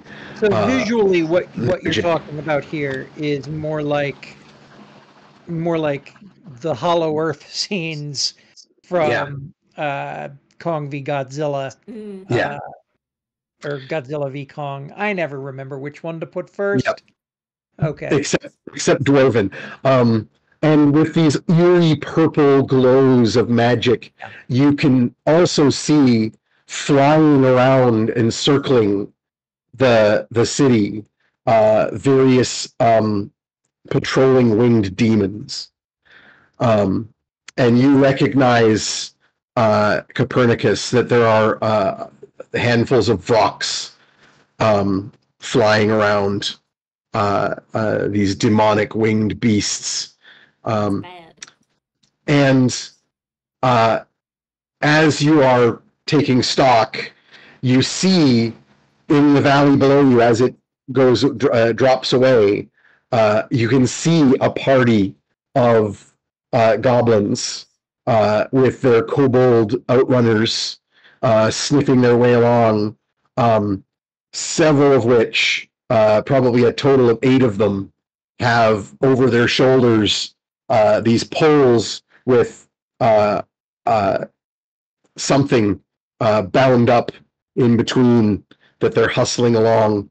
Um, their numbers have swollen a bit more. There's a little over a dozen of them now, um, probably about 16. There's about equal numbers carrying uh, the burden as there are marching along, and they're rushing as quickly as they can, looking absolutely exhausted towards this fortress. Um, but just down below. a brief um, cinematic moment before we wrap. Oh, go ahead. Go ahead. Okay. Uh, so there's there's a cut to that, and then there's a cut back to the group, and then a cut in on Ugna's eyes, uh, just as she go whispers, "Sal," and then like a flame kindles in her eyes. Uh, and we'll cut back to her taking out her uh, bone crusher mask and just pulling it on. Oh hell yeah! And the eyes go like steely flat. Mm-hmm. Um, and at this point, several things happen. One, Ugna actually starts um, uh, giving quiet orders Like I've been to- working it out in my head the entire run. about, you know, Fedinali, you're going around this way. You, you, uh, Hollis, you're with me. I'm carrying you down. Uh, you, you know, we're going to get close like we did before. Like all of this, and I want a, uh, a roll from Copernicus and Morgan because you two know Ugna well enough. Um, this is going to be a insight check, which I know Morgan is very good at. I'm very bad. Thirteen. See, let's see. Uh, that's a 12 plus. Okay, your plus is huge. I think you got a plus 10 for insight. It's like Yeah. 22. Uh, plus 9, so Yeah, 21. plus nine. Um, okay.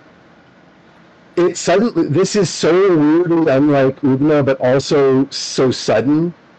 It kind of starts coming together for you that you realize Ugna's been acting really weird and random for a long time now.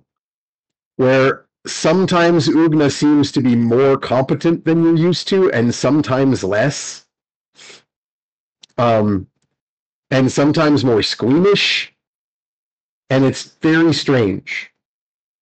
And you don't have much time to think about it because at that moment, you're all overwhelmed by this crazy stench. Oh no. Uh, and I need everyone to make a DC 14 Constitution save. Easily made. Eh, 17.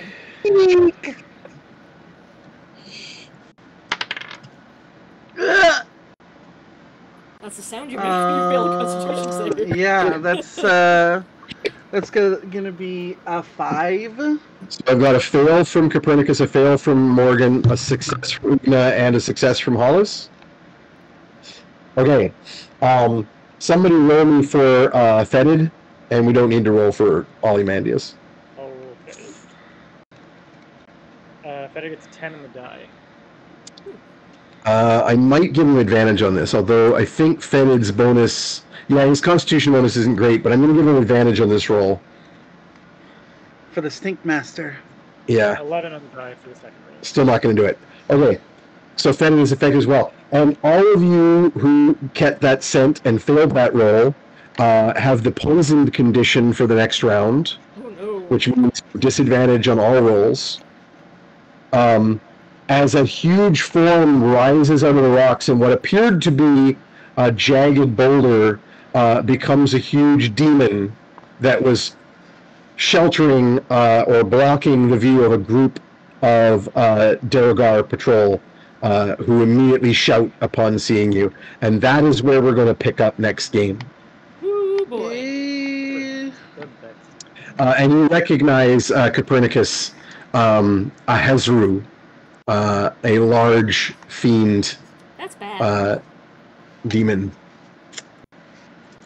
Contrary Okay. to popular opinion, dwarves of the of the uh, the stone skill lines are not, in point of fact, constitutionally capable of shitting bricks. but I have just done that. And that's it for this game. Uh. Uh, Howard, I don't know what your schedule is like. You'd be welcome to join us for another session. Uh, Depends on Well, what the I- next section is. I will be Yeah. at the uh, WXR uh, event in the latter half of September. I think after about September 16th, I vanish. next session will be before then. So, um, I, We will I should be able to squeeze it in. Yeah. Yeah. Yeah, I think the plan right now for next session is the first full week of September or the second, depending on on uh, Peter's move and a few other things as to how that timing works out. Um, but we'll we'll come back to that. We'll figure it out. Lane, So- me Um, D10, I actually. have. I do have a conflict on the 12th. Is today Thursday? Is that Yeah. when we do this? We only do it, we've been doing Tuesdays lately. We just couldn't do it this week, so we did Thursday. Tuesdays? Yeah, it would likely be the third or the tenth would be the next game. What am I rolling in? My Uh, calendar D10. says those days are empty, but I shall. I I shall have words with Sandra and see if my calendar is As is- empty as you think. Yeah is is lying to me. What am I rolling in? 1d10. D10. Yep. I have rolled a seven. Uh, that is MLS Revenge. MIS Revenge, you are going to be receiving artwork from our illustrious artists. Um, and I just want to uh, remind the audience, of course, that subscribers are always entered into the art draw uh, every game. Um, so please do feel free to subscribe uh, if you haven't already. Uh, I know Twitch is changing the rules, so hopefully it doesn't uh, screw anybody up too bad Yeah. um, but uh, it is out of our control. Um, yeah, has anyone have anything to shout out? Any any upcoming projects or appearances anyone wants to shout out? I'll give Howard the uh, the first dibs here. You just mentioned where you're going to be in September. I, I'm going to be on the, the at the WXR uh, retreat, which is sold out on a cruise ship that's going to Mexico. So shouting it out would just be a humble brag that makes everybody feel bad that they can't come along. So I'm not going to do that. What I'm going to say is go visit the websites of these other fine folks that I've had the opportunity to play Aw. with because this is fun and I like getting to do it. And thank you so much. It's always a delight. Thank you for We guesting. will be coming back to the such Dwarven amazing- Lands. Hell yeah, better. Yeah. Anybody else want to shout something out while we're wrapping up the stream? Um, I'm doing- Raven and I. Oh, go ahead, Peter. No, you got it. You got it. I was gonna say Raven and I will be at the Museum of Vancouver on August 30th, uh, doing the launch party for Indigenerds. So if you happen to be in the Greater Vancouver area, come on by. Um, it is unfortunately twelve dollars, but that is the admission to the museum. Uh, so if you come early, you can spend all day in the museum if you want, and then just hang out afterwards for our meet and greet with myself, Raven, and Jordana George, who's one of our other contributors to the book. And then we'll be copies for sale. I think they're gonna serve like treats or something. I gotta ask if I need to bring Bannock or whatever. But uh, yeah, it's gonna be a real swanky little night. So hopefully see you there. Cool. And Peter? I've, I've got a live stream that I'm doing tomorrow for the Story Engine deck. We're going to be unveiling the final form of the Lore Masters deck. We've shown off the print sample, the digital print sample, but we finally have the actual deck that we're going to be shipping to people in a couple of months. So we're going to Oh, do that's uh, awesome. an unveiling, and then we're also going to do some live um, lore creation where the chat votes on uh, which prompts to use. So it's always a lot of fun, and you can find that at, at Story Engine Deck on YouTube or uh, Facebook is where we'll be streaming live. And I should probably mention um, uh, that Alina and I will be at uh, PAX Yeah. uh, as well next weekend. Um, Alina won't be there on uh, Friday the 30th because that's when the Indigenerds launch is. Uh, but you can uh, get Were Geek merch at the uh, Nomnivore booth that I will be uh, uh, working at for the weekend. Uh, and hopefully Alina might do some panels or something. We don't know. It's a last minute kind of kind of deal. But if not, I'll be at least taking some time to wander around and see the sights because it's been at least ten years since I've been to a PAX. yeah, if you're there, come say hi.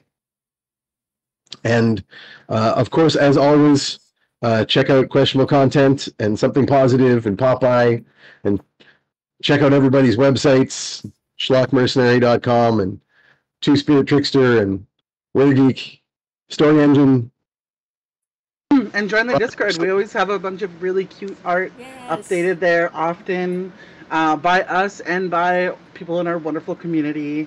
Uh, Yep. I just posted to my TikTok um, as well a uh, pimp named Slickback animation of uh, Morgan It's so good. It's, sliding that is- around the battlefield. That is worth signing up to the Discord for.